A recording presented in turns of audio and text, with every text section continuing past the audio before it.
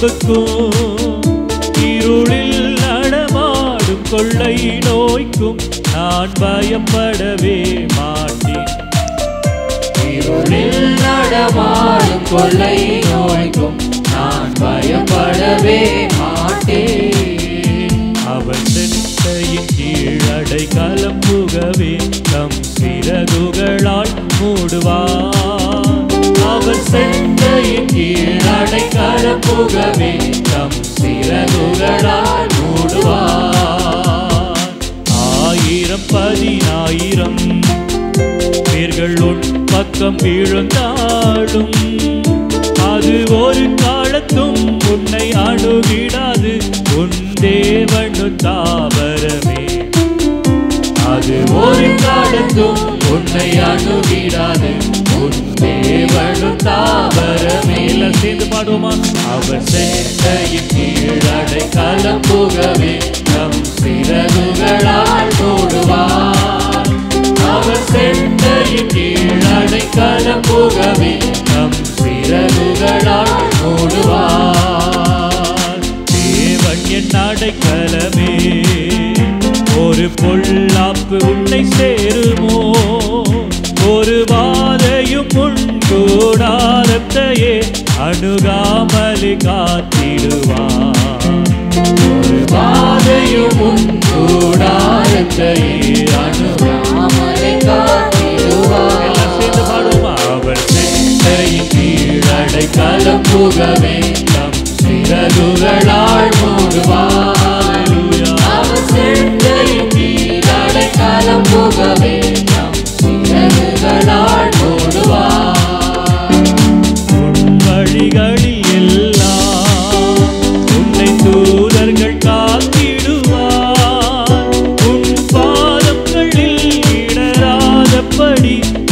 தங்கள்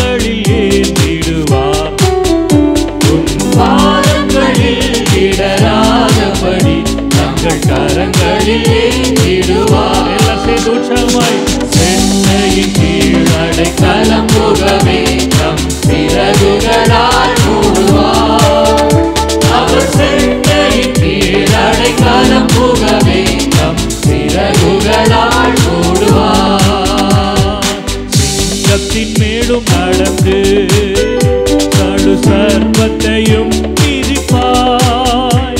அவர் நாமத்தை நீ முற்றும் நம்பினதால் உன்னை விடுவித்து காத்திடுவார் அவர் நாமத்தை நீ முற்றும் நம்பினதால் உன்னை விடுவித்து காத்திடுவார் எல்லாம் சேர்ந்து ஹalleluya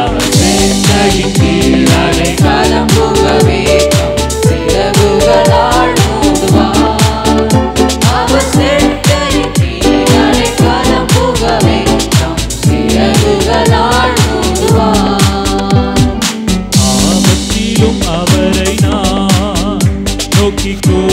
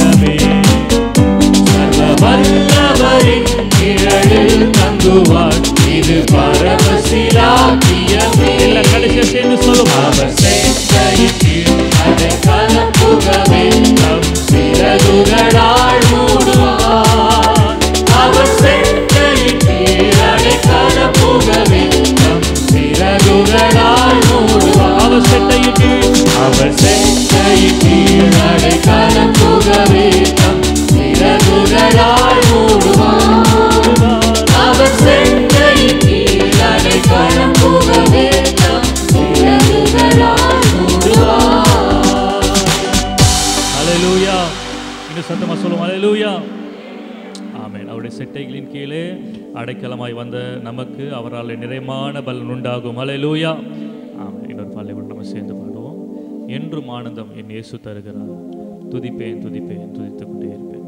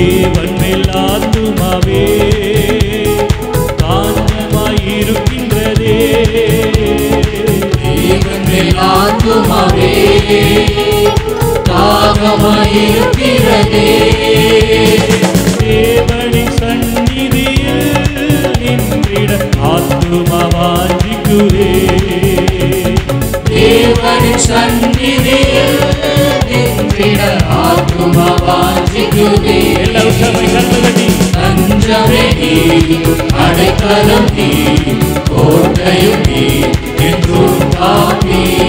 தஞ்சமே நீ அடைக்கலம் நீ கோட்டையும் நீ என்றும் கலங்குவதே நேசரை நினைத்திடுவார். மகளங்குவதே இணைத்திடுவார். அன்பரின் ரட்சிப்பினால் தினமும் துதித்து போற்றிடுவோம். அன்பரின் ரட்சிப்பினால் தினமும் துதித்து போற்றிடுவோம். தஞ்சமே நீ அடைக்கலம் நீ கோட்டையும்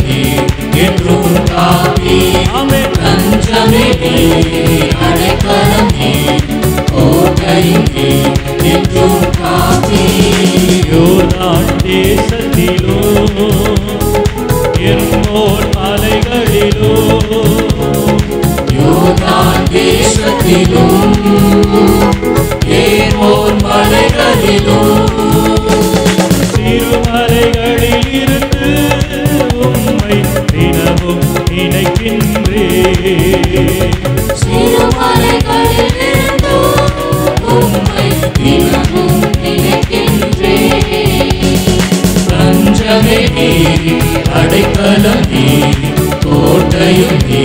என்றும் காப்பி எல்லா நம்பிக்கையோடு சொல்லுமா தஞ்சமே நீரே என்னுடைய தஞ்சம் அப்பா. அடைக்கலம்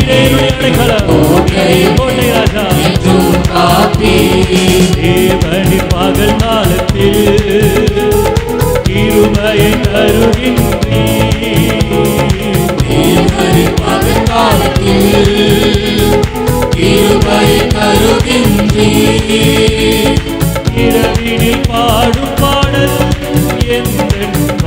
வாயினில் இருக்கின்றது. இரவினில் பாடும் பாட்டு தாயினில் இருக்கிறது அஞ்சமிலே தஞ்சமே நீ அடைக்கலம் நீ கோட்டையும் நீ என்றும் காப்பி எங்கள் தஞ்சமே நீ அடைக்கலம் நீ கோட்டையும் நீ என்றும் காப்பி ஆட்கள் நீரோடை வாஞ்சித்து கதறு போல் தேவனே. எங்கள் ஆத்துமாவும் உண்மையே வாஞ்சித்து கதருதே. ஆண்கள் நீரோடை வாஞ்சித்து கதறும் போல் தேவனே.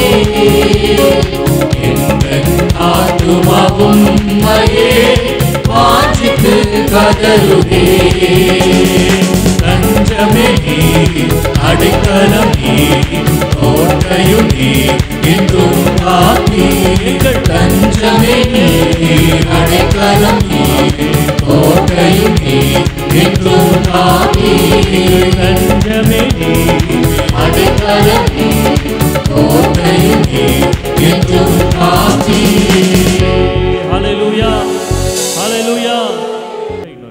பாடலை சேர்ந்து பாடி ஆண்டவர் நாம் தான் மயன்படுத்துவோம் நம்மளால் தெரிந்த ஒரு பழைய பாடல் ஆனந்த துதி ஒளி கேட்கும். ஆடல் பாடல் சத்தமும் துணிக்கும்.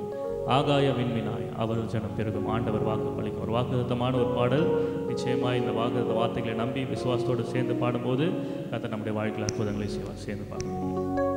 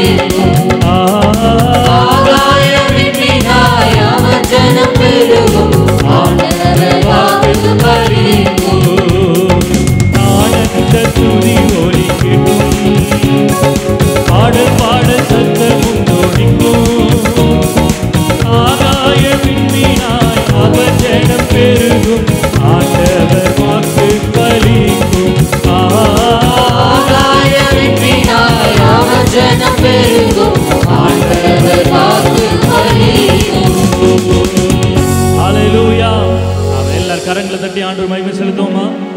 ஹalleluya.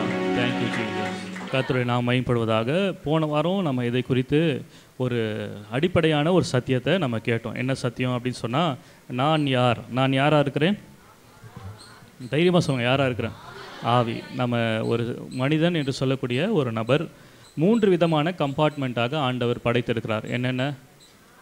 ஆவி அப்புறம் ஆத்மா அப்புறம் சரீரம். இப்போது இந்த சரீரம் தான் நானா அப்படின்னு சொன்னால் சரீரம் நான் கிடையாது. அடுத்தது என்னுடைய ஆத்மா தான் நானா அப்படின்னு சொன்னால் அதுவும் நான் கிடையாது. அடுத்தது ஆவி தான் யார் அப்படின்னு சொன்னால் நான். என்று சொன்னால் வேதத்தில் வாசிக்கிறோம் தேவன் எப்படி இருக்கிறார்? ஆவியாய் இருக்கிறார். யோவான் நான்கு இருபத்தி நான்கில் வாசிக்கிறோம் தேவன் ஆவியாய் இருக்கிறார். போன வாரமே நான் உங்களுக்கு ஒரு சின்ன ஒரு எக்ஸாம்பிள் சொல்லியிருந்தேன். பூனையிலேருந்து என்ன தான் வரும்? ம் பூனையிலேருந்து என்ன வரும்? பூனை. பூனையிலேருந்து நாய் என்ன பண்ணாது? வராது. நாயிலேருந்து என்ன வரும்? நாய் தான் வரும். குரங்குலேருந்து குரங்கு தான். அதுபோல் தேவன்கிட்ட இருந்து என்ன தான் வரும்? இன்னொரு தேவன். ஆண்டு வசனம் சொல்லுது அவருடைய சாயலாக நம்ம என்ன பண்ணியிருக்கிறாரு?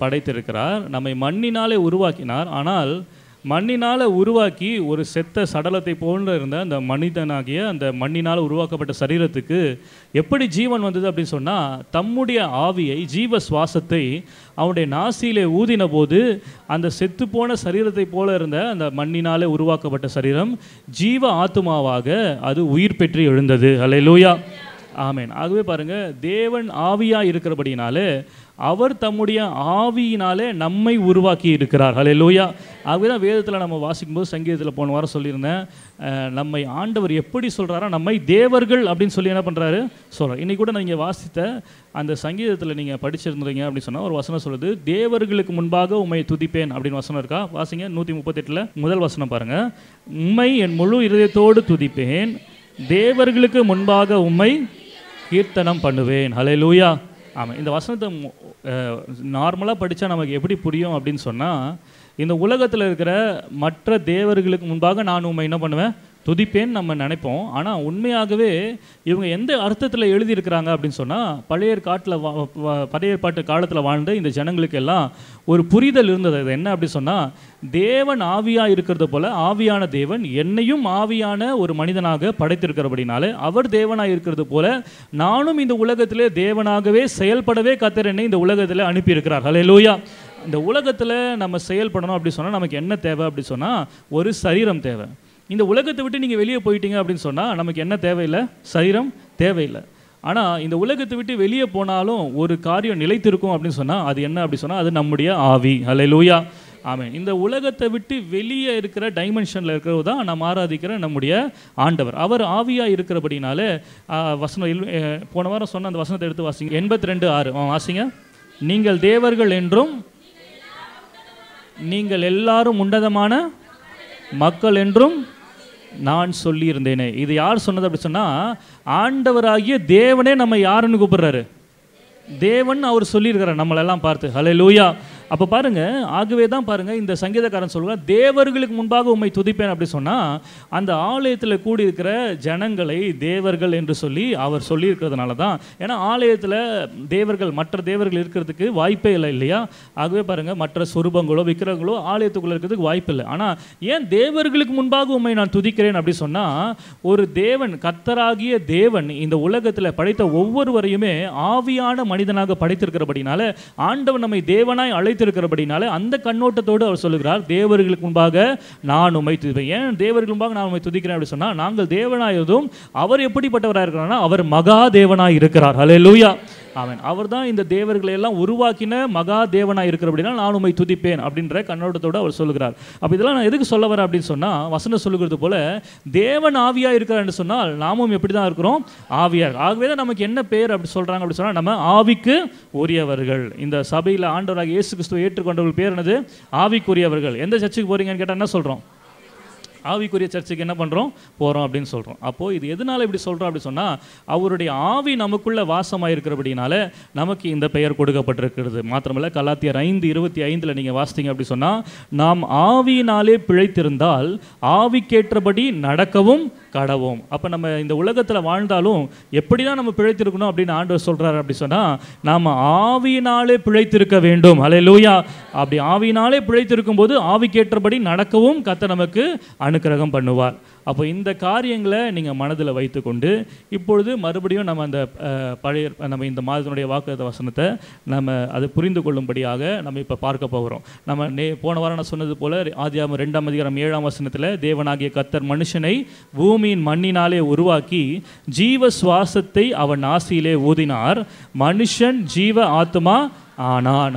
லூயா அமையன் இந்த சரீரம் இந்த சரீரம் பெற்றுக்கொண்ட மிகப்பெரிய ஒரு கிஃப்ட் ஆண்டு பெற்றுக்கொண்ட மிகப்பெரிய ஒரு கிஃப்ட் என்ன அப்படின்னு சொன்னால் ஜீவன் அல்லது உயிர் இல்லையா? இந்த உயிர் வந்து விலை மதிப்பு இல்லாதது. எவ்வளோ பெரிய பணக்காரனாக இருந்தாலும் எவ்வளோ பெரிய சொத்து வச் வைத்திருக்கிறவன் என்று சொன்னாலும் ஒரு காலகட்டத்தில் இந்த உலகத்தை விட்டு அவங்க கடந்து போகிற சூழ்நிலை வரும்போது எனக்கு நிறையா பணம் இருக்குது ஆகினால டாக்டர்கிட்ட கொடுத்து நான் சாகாமலே இந்த உலகத்தில் இருந்து நான் யுக யுகமாய் வாழ முடியும் அப்படின்னு சொல்லி அவன் நினைத்தாலும் அவனால் முடியாது. ஏன்னா இந்த சரீரம் எப்படி படைக்கப்பட்டிருக்கு அப்படி சொன்னால் மண்ணிலிருந்து வந்திருக்கிறோம் நிச்சயமாக ஒரு நாள் என்ன பண்ணுவோம்? மண்ணுக்கே திரும்புவோம். ஆனால் எது சாகாத வரம் பெற்றது அப்படி சொன்னால் நம்முடைய ஆவியிலே கத்தர் அப்படிப்பட்ட சா ஆகாமையுள்ள வரத்தை கத்தர் கொடுத்திருக்கிறார். ஹalleluya. ஆமீன். ஆக அதை நீங்கள் புரிந்து கொள்ளும்போது நமக்கு வாய்ப்பு இருக்குது. இந்த சரீரத்திலும் நம்ம பல ஆண்டுகள் ஜீவிக்கிறதுக்கு வாய்ப்பு இருக்குது. போன வாரம் நான் சொல்லியிருந்தேன் நம்ம எந்த கான்ஷியஸில் இருக்கணும் அப்படின்னு சொன்னால் என்னுடைய சரீரத்தில் இருக்கிற வியாதியை குறித்து நினைக்கக்கூடாது. என்னுடைய உணர்ச்சிகளின் அடிப்படையில் செயல்படக்கூடாது. நான் எப்படி செயல்பட வேண்டும் என்று சொன்னால் நான் ஒரு ஆவியாக இருக்கிறேன். ஹalleluya ஆவியாக இருக்கிறேன் அப்படி சொன்னால் அந்த ஆவி யாருக்கிடத்திலிருந்து வந்தது? தேவனிடத்திலிருந்து வந்திருக்கு. என்னுடைய உண்மையான நிலைமை என்னுடைய உண்மையான ஸ்டாண்டிங் எப்படி இருக்குது அப்படி சொன்னால் ஒரு எந்த ஒரு பலவீனமும் இல்லாமல் வியாதி இல்லாத அல்லது எந்த ஒரு குறைவும் இல்லாமல் நிறைவான ஒரு மனிதனாக சகலவித ஆசீர்வாதங்களும் நிறைந்த ஒரு மனிதனாக என்னுடைய ஆவியிலே நான் இருக்கிறேன். ஆனால் அது என்னுடைய ஆத்மா அறிந்து கொள்ளாததுனால இந்த ஆத்மா வந்து மைண்ட் அப்படின்றது வந்து சோல் அப்படின்றது வந்து கண்டிஷன்டு மைண்ட் அப்படின்னு சொல்லுவாங்க. அதை வந்து கண்டிஷன் பண்ண முடியும். உங்களுடைய ஆத்மாவை உங்களுடைய மனதை உங்களால் என்ன பண்ண முடியும்? கண்டிஷன் பண்ண முடியும். ஒன்று உங்களுடைய சரீரத்திலிருந்து வருகிற கொடுக்கப்படுகிற இன்புட்னால உங்களுடைய மைண்டை உங்களுடைய ஆத்மாவை உங்களால் கண்டிஷன் பண்ண முடியும். அல்லது ஆவியிலிருந்து வருகிற இன்புட்னால உங்களுடைய மைண்டை என்ன பண்ண முடியும்? கண்டிஷன் பண்ண முடியும். அது என்ன சொல்லுதோ அதை நம்ப முடியும். எதை நம்புறீங்களோ அது உங்களுடைய வாழ்க்கையில் அது வெளிப்படும். அலையலூயா ஆகவே பாருங்க ஒரு சாட்சி கூட சொன்னாங்க. நம்ம போன வாரம் கேட்ட செய்தி ஒருவேளை ரொம்ப சிம்பிளாக ஒரு வேளை சில பேருக்கு இருந்திருக்கலாம். ஆனால் ஒருத்தருக்கு பாருங்கள் அது அவங்களுடைய வாழ்க்கையாகவே மாறியிருக்காங்க. பாருங்கள் பல நாட்களாக கர்ப்பப்பையில் ஏதோ ஒரு கட்டி ஏதோ பிரச்சனை நிமித்தமாக அவங்க போயிருக்கிறாங்க. நான் சொன்ன சத்தியம் நீ நீங்கள் வந்து உங்களுடைய சரீரத்தில் என்ன உணர்றீங்களோ உங்களுடைய எண்ணங்களில் என்ன உணர்றீங்களோ அதன்படி நீங்கள் என்ன பண்ணக்கூடாது? செயல்கூடாது நீங்கள் உள்ளான மனிதன் ஆவியில் எப்படி இருக்கிறீங்க? பலம் உள்ளவளாக இருக்கிறீர்கள். அல்ல லோயா அதை நீங்கள் நீங்கள் என்ன பண்ணணும் அப்படி சொன்னால் உங்கள் மைண்ட் அதை யோசிக்க ஆரம்பிக்கணும். உங்கள் மைண்டு வந்து நான் சோகமாக இருக்கிறேன் நான் பலவீனமாக இருக்கிறேன் என் வாட்டியில் ரொம்ப வலிக்குது. அப்படி யோசிச்சிங்கன்னா அது அதுக்கே இதுவாகி நான் சொன்னது போல் ஒரு லூப்லேயே என்ன பண்ணுவீங்க? வாழ்ந்துட்டு இருப்பீங்க எந்த ஒரு அதுலேருந்து எந்த ஒரு விடுதலையும் உங்களுக்கு என்ன பண்ணாது? கிடைக்காது. ஆனால் நீங்கள் எப்போ உங்களுடைய ஆவியை பார்த்து நீங்கள் உங்கள் ஆத்மாவை கண்டிஷன் பண்ண விரும்புகிறீங்களோ அப்பொழுது அந்த ஆசீர்வாதம் அல்லது அந்த அதிசயம் உங்களுடைய சரீரத்திலே வெளிப்படும் என்பதில் எந்த சந்தேகமும் இல்லை. ஹலே லூயா போன வாரமே சொன்னது சயின்டிஃபிக்காக சில காரியங்களை சொல்லியிருந்தேன். நம்ம அப்படி நம்முடைய ஆத்மாவில் நம்முடைய சிந்தனைகளில் நேர்மறையான எண்ணங்களை கொடுத்துருப்போம் என்று சொன்னால் நம்முடைய மூளையில் சுரக்க வேண்டிய நல்ல ஆசிட்ஸ் நல்ல கெமிக்கல்ஸ் நல்ல புரோட்டீன்ஸ்லாம் சுரக்கிறதுனால பலவீனங்கள்லாம் வராமல் அது தடுக்கும் என்பதில் அஹ், சொல்லி யார் சொல்கிறாங்க அப்படின்னா சயின்டிஸ்ட் மாடர்ன் சயின்ஸ் அதெல்லாம் என்ன பண்ணியிருக்கு? கண்டுபிடிச்சிருக்கு. அதனால பாருங்கள் எவ்வளவுக்கு எவ்வளோ டிப்ரெஸ்டாக இருக்கிறோமோ அது நம் அந்த டிப்ரெஷன் வந்து எதில் காண்பிக்கும் அப்படின்னு சொன்னால் நம்முடைய சரீரத்தில் அந்த டிப்ரெஷன் வியாதியாக நமக்கு என்ன பண்ணும்? காண்பிக்கும். அதனால ஹார்மோன்ஸ் இம்பேலன்ஸ் ஆகுது அப்படின்னு சொல்லி நான் என்ன பண்ணுறோம் நம்ம கேள்விப்படுகிறோம் ஆகவே பாருங்கள் நம்ம ஆவியாக இருக்கிறபடினால அந்த ஆவிக்கேற்றபடி நம்ம பிழைத்து வைத்திருக்கிறபடினால ஆவிக்கேற்றபடி நம்ம நடந்து கொள்ள வேண்டும் என்று சொல்லி கலாத்தியருக்கு பவுல் தன்னுடைய நிருபத்தில் எழுதுகிறார். லூயா ஆமே சரி. இப்போ இந்த ஆவி நாம் ஒரு ஆவி அப்படின்றத நீங்கள் மனதில் தெளிவாக வைத்துக்கொள்ள வேண்டும். ஏன் இப்படி மனதில் தெளிவாக வைத்துக்கொள்ள வேண்டும் அப்படி சொன்னால் இந்த மாதத்தோட வாக்குத்த வசனம் ஆண்டவர் சொல்ல நான் உன்னை சரீர பிரகாரமாக ஆசீர்வதித்திருக்கிறேன்னு சொல்லலை. அல்லது உன்னுடைய ஆத்மாவில் நான் உன்னை ஆசீர்வதித்திருக்கேன்னு சொல்ல எதில் ஆசிர்வதித்திருக்கிறாராம்? ஆவிக்குரிய சகல ஆசீர்வாதத்தினால நான் உன்னை என்ன பண்ணியிருக்கிறேன்? ஆசீர்வாதம் அப்போ எனக்கு ஏற்கனவே ஆசீர்வாதம் என்ன பண்ணப்பட்டிருக்குது? கொடுக்கப்படுது இனிமேல் புதுசாக எனக்கு ஒரு ஆசீர்வாதம் தேவையில்லை. ஏற்கனவே ஆண்டவர் ஆசீர்வாதத்தை எங்கே வச்சிருக்கிறாருன்னா என்னுடைய ஆவியிலே வைத்திருக்கிறார். என்னுடைய வேலை என்ன அப்படி சொன்னால் ஆவியில் இருக்கிற அந்த சகல ஆசீர்வாதங்களையும் என்னுடைய சரீரத்திலையும் என்னுடைய வாழ்க்கையிலும் நான் என்ன பண்ணணும்னா அங்கேருந்து எடுத்துகிட்டு வர வேண்டியது தான் என்னுடைய வேலை. அதுக்கு நான் என்ன பண்ணணும் அப்படி சொன்னால் நடுவில் இருக்கிற அந்த ஆத்மாவை என்ன பண்ணணும் கண்டிஷன் பண்ணணும். இந்த ஆத்மா எதன் மூலமாய் கண்டிஷன் பண்ணப்படணும் அப்படி சொன்னால் கத்தருடைய வசனத்தின் மூலமாய் கண்டிஷன் கத்தருடைய வசனத்தின் மூலமாய் இந்த ஆத்மா ஒவ்வொரு நாளும் எக்ஸசைஸ் பண்ணணும் அப்படி சொன்னால் ட்ரெயின் பண்ணுவோம் அப்படி சொன்னால் நிச்சயமாக இந்த ஆவியில் இருக்கிற அத்தனை ஆசீர்வாதங்களையும் நம்முடைய சரீரத்தில் நம்மால் அனு அனுபவிக்க முடியும். ஹalleluya சரி இப்போ பாருங்கள் நான் கிறிஸ்துவுக்குள் உன்னதங்களிலே சகல ஆசீர்வாதங்களை கத்தர் என்ன பண்ணியிருக்காரு? ஆசீர்வதிக்கிறார். இதை இன்னும் உங்களுக்கு ஈஸியாக இது உண்மையாக என்ன தான் சொல்ல வருது அப்படின்னு சொல்லி உங்களுக்கு புரிய வைக்கணும் அப்படி சொன்னால் நான் எத்தனையோ முறை சொல்லியிருக்கேன். கிறிஸ்து அப்படின்னு சொன்னால் என்ன அர்த்தம்? ஆ சொல்லுங்கள் தைரியமாக சொல்லுங்கள் கிறிஸ்து அப்படி சொன்னால் அபிஷேகம் பண்ணப்பட்டவன் அர்த்தம். ஆனால் அவர் இப்போ அந்த கிறிஸ்துவானவர் இப்போ எப்படி இருக்கிறார் அப்படின்னு சொன்னால் கொலோசியர் ஒன்று இருபத்தி ஏழு கிறிஸ்துவானவர் மகிமையின் நம்பிக்கையாக உங்களுக்குள் இருக்கிறதே அந்த ரகசியம். இதை மறந்துடவே கூடாது. கொலோசியர் ஒன்று இருபத்தி ஏழு கண்ணு மூடி தூக்கத்தில் கேட்டால் கூட இந்த வசனத்தை என்ன பண்ணணும்? சொல்லணும். கிறிஸ்துவானவர் எப்படி இருக்கிறாரா நமக்குள்ள மகிமையின் நம்பிக்கையாக. நம்பிக்கைனா என்ன அர்த்தம் அப்படி சொன்னால் அதுக்கு ஒரு ஷார்ட் டெஃபினேஷன் என்ன அப்படி சொன்னால் பாசிட்டிவ் இமேஜினேஷன் நேர்மறையான எண்ணங்களுக்கு பேர் தான் என்னது? நம்பிக்கை. நேர்மறையான எண்ணங்களுக்கு பேர் என்னது? நம்பிக்கை. அப்போ கிறிஸ்துவானவர் மகிமை நம்பிக்கை எனக்குள்ள இருக்காருன்னா என்ன அர்த்தம்னா கிறிஸ்துவானவர் நேர்மறையான எண்ணங்களாக எனக்குள்ளே இருக்கிறார். அலை லூயா ஓகேவா இப்போ கிறிஸ்துவானவருக்கு நேர்மறையான எண்ணங்கள்னு ஒரு விளக்கம் கொடுத்துருக்கேன் அடுத்தது உன்னதங்களில்னு ஒரு வார்த்தை வருது. அந்த உன்னதங்கள் அப்படின்னு சொன்னால் என்ன அர்த்தம் அப்படி சொன்னால் அது காணக்கூடாத மண்டலத்தை குறிக்கிற ஒரு காரியம். நம்முடைய எண்ணங்களை யாராச்சும் பார்க்க முடியுமா? பார்க்கவே முடியாது. உங்கள் கை கால் எல்லாத்தையும் பார்க்கலாம் சரீரத்தை பார்க்கலாம். ஆனால் உங்களுடைய எண்ணத்தை என்ன பண்ண முடியாது? பார்க்கவே முடியாது. அதுதான் காணக்கூடாத மண்டலம். கத்தர் எதில் ஆஸ்வதிக்கிறார் உன்னதங்களிலே கிறிஸ்துவுக்குள் சகல ஆசீர்வாதங்களாலும் ஆஸ்வதிக்கிறார் அப்படின்னா காணக்கூடாத மண்டலமாகிய நம்முடைய நேர்மறையான எண்ணங்களிலே கத்தர் சகல ஆசிர்வாதத்தையும் வைத்திருக்கிறார். ஹalleluya ஆமாம் அப்போ இந்த மாதத்தில் கத்த நம்ம கொடுக்குற வார்த்தை அல்லது கத்த நமக்கு நினைவுபடுத்தக்கூடிய ஒரு காரியம் என்ன அப்படி சொன்னால் உன் வாழ்க்கைக்கு தேவையான அத்தனை ஆசிர்வாதங்களையும் நான் உனக்குள்ளே மற்றவர்களால் பார்க்க முடியாத அல்லது அல்லது ஒருவேளை உன்னாலேயே பார்க்க முடியாத உன்னுடைய சரீர கண்களால் பார்க்க முடியாத உனக்குள் இருக்கிற நேர்மறையான எண்ணங்களுக்குள்ளே நான் சகல ஆசிர்வாதத்தையும் வைத்திருக்கிறேன். ஹalleluya அதை எப்படி பார்க்க முடியும் அப்படி சொன்னால் நம்முடைய மனக்கண்களால் நம்முடைய நம்ம நம்ம நம்மளால் என்ன பண்ண முடியும்? அதை பார்க்க முடியும். அதை நம்ம நம்ம நம்ம என்ன பண்ணணும் அப்படி சொன்னால் விசுவாசிக்க வேண்டும். மாத்திரமல்ல இந்த ஆதாம் ஏவாளை ஆண்டவர் படைத்த போது நம்ம நம்ம ஆதியம் ரெண்டாம் அதிகாரத்தில் வாசித்தோம் அவர் மண்ணினால் மனிதனை உண்டாக்கி அவனுக்குள்ளே தம்முடைய ஆவியை உன் ஊதின போது அவன் ஜீவ ஆத்மா ஆனான். இந்த சைடு சரீரம் இந்த சைடு ஆவி நடுவில் புதுசாக ஒன்று முளைக்குது. அது என்னது அப்படி சொன்னால் ஜீவ ஆத்மா அப்போ இந்த சரீரம் மண்ணிலேருந்து வந்திருக்குது ஆவி ஆட்டந்து வந்திருக்கு தேவன்ட்டந்து வந்திருக்கு.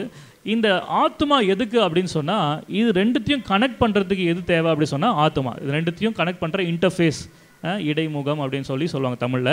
இது ரெண்டுத்தையும் கனெக்ட் பண்ணுற இன்டர்ஃபேஸ் தான் என்னது அப்படின்னு சொன்னால் இந்த ஆத்மா இந்த ஆத்மா போன வாரம் சொல்லியிருந்தேன் மூன்று விதமாக அதை வந்து பிரி பிரித்திருக்கிறாங்க. மைண்ட் வில் அண்ட் எமோஷன் நம்முடைய மனது நம்முடைய சுய சித்தம் நம்முடைய உணர்ச்சி இது மூன்றுத்தையும் உள்ளடக்கியது தான் என்னது அப்படி சொன்னால் நம்முடைய ஆத்துமா. அலை லூயா ஆமேன். அப்போ பாருங்கள் இந்த ஆ- ஆண்டவர் ஆதாமியும் ஏவாளையும் படைத்த போது நம்ம எபேசியர் ஒன்று மூணில் வாசிக்கிறது போல் சகல ஆசீர்வாதத்திலும் நம்ம ஆசீர்வதிக்கலாம் சொன்னது போலவே இந்த ஆதாமியும் ஏவாளையும் படைத்த போதே ஆண்டவர் சகல ஆசீர்வாதங்களாலும் அவர்களை ஆசீர்வதித்து ஒரு ஆசீர்வாதத்தை விசேஷமாக அவர் மேலே அவர் சொல்கிறார் என்ன ஆசீர்வாதம் அப்படின்னு சொன்னால் ஒன்றாம் அதிகாரம் ஆதி ஒன்றாம் அதிகாரம் இருபத்தி ஏழுலேருந்து இருபத்தி எட்டு வரைக்கும் இருபத்தி ஆறு இருபத்தி ஏழு இருபத்தெட்டு மூன்று வசனங்கள் வாசிக்கலாம்.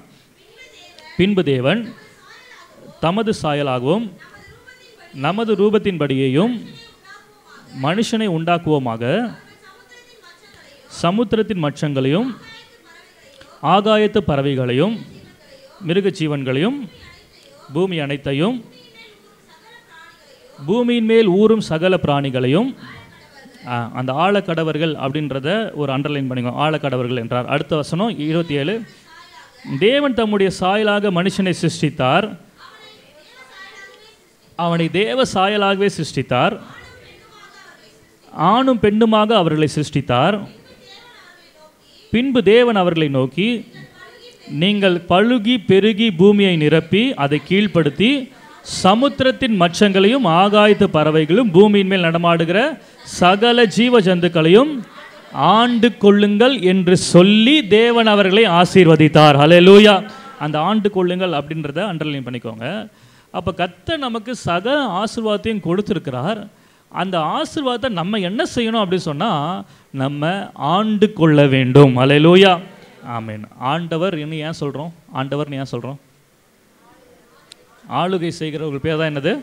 ஆண்டவர். நான் ஏற்கனவே சொன்னேன் தேவனே நம்மளை என்னன்னு கூப்பிட்றாரு. தேவர்கள்னு கூப்பிட்றாரு. தேவர்களுக்கு இன்னொரு பேர் என்னது? ஆண்டவர்னு சொல்லலாம்.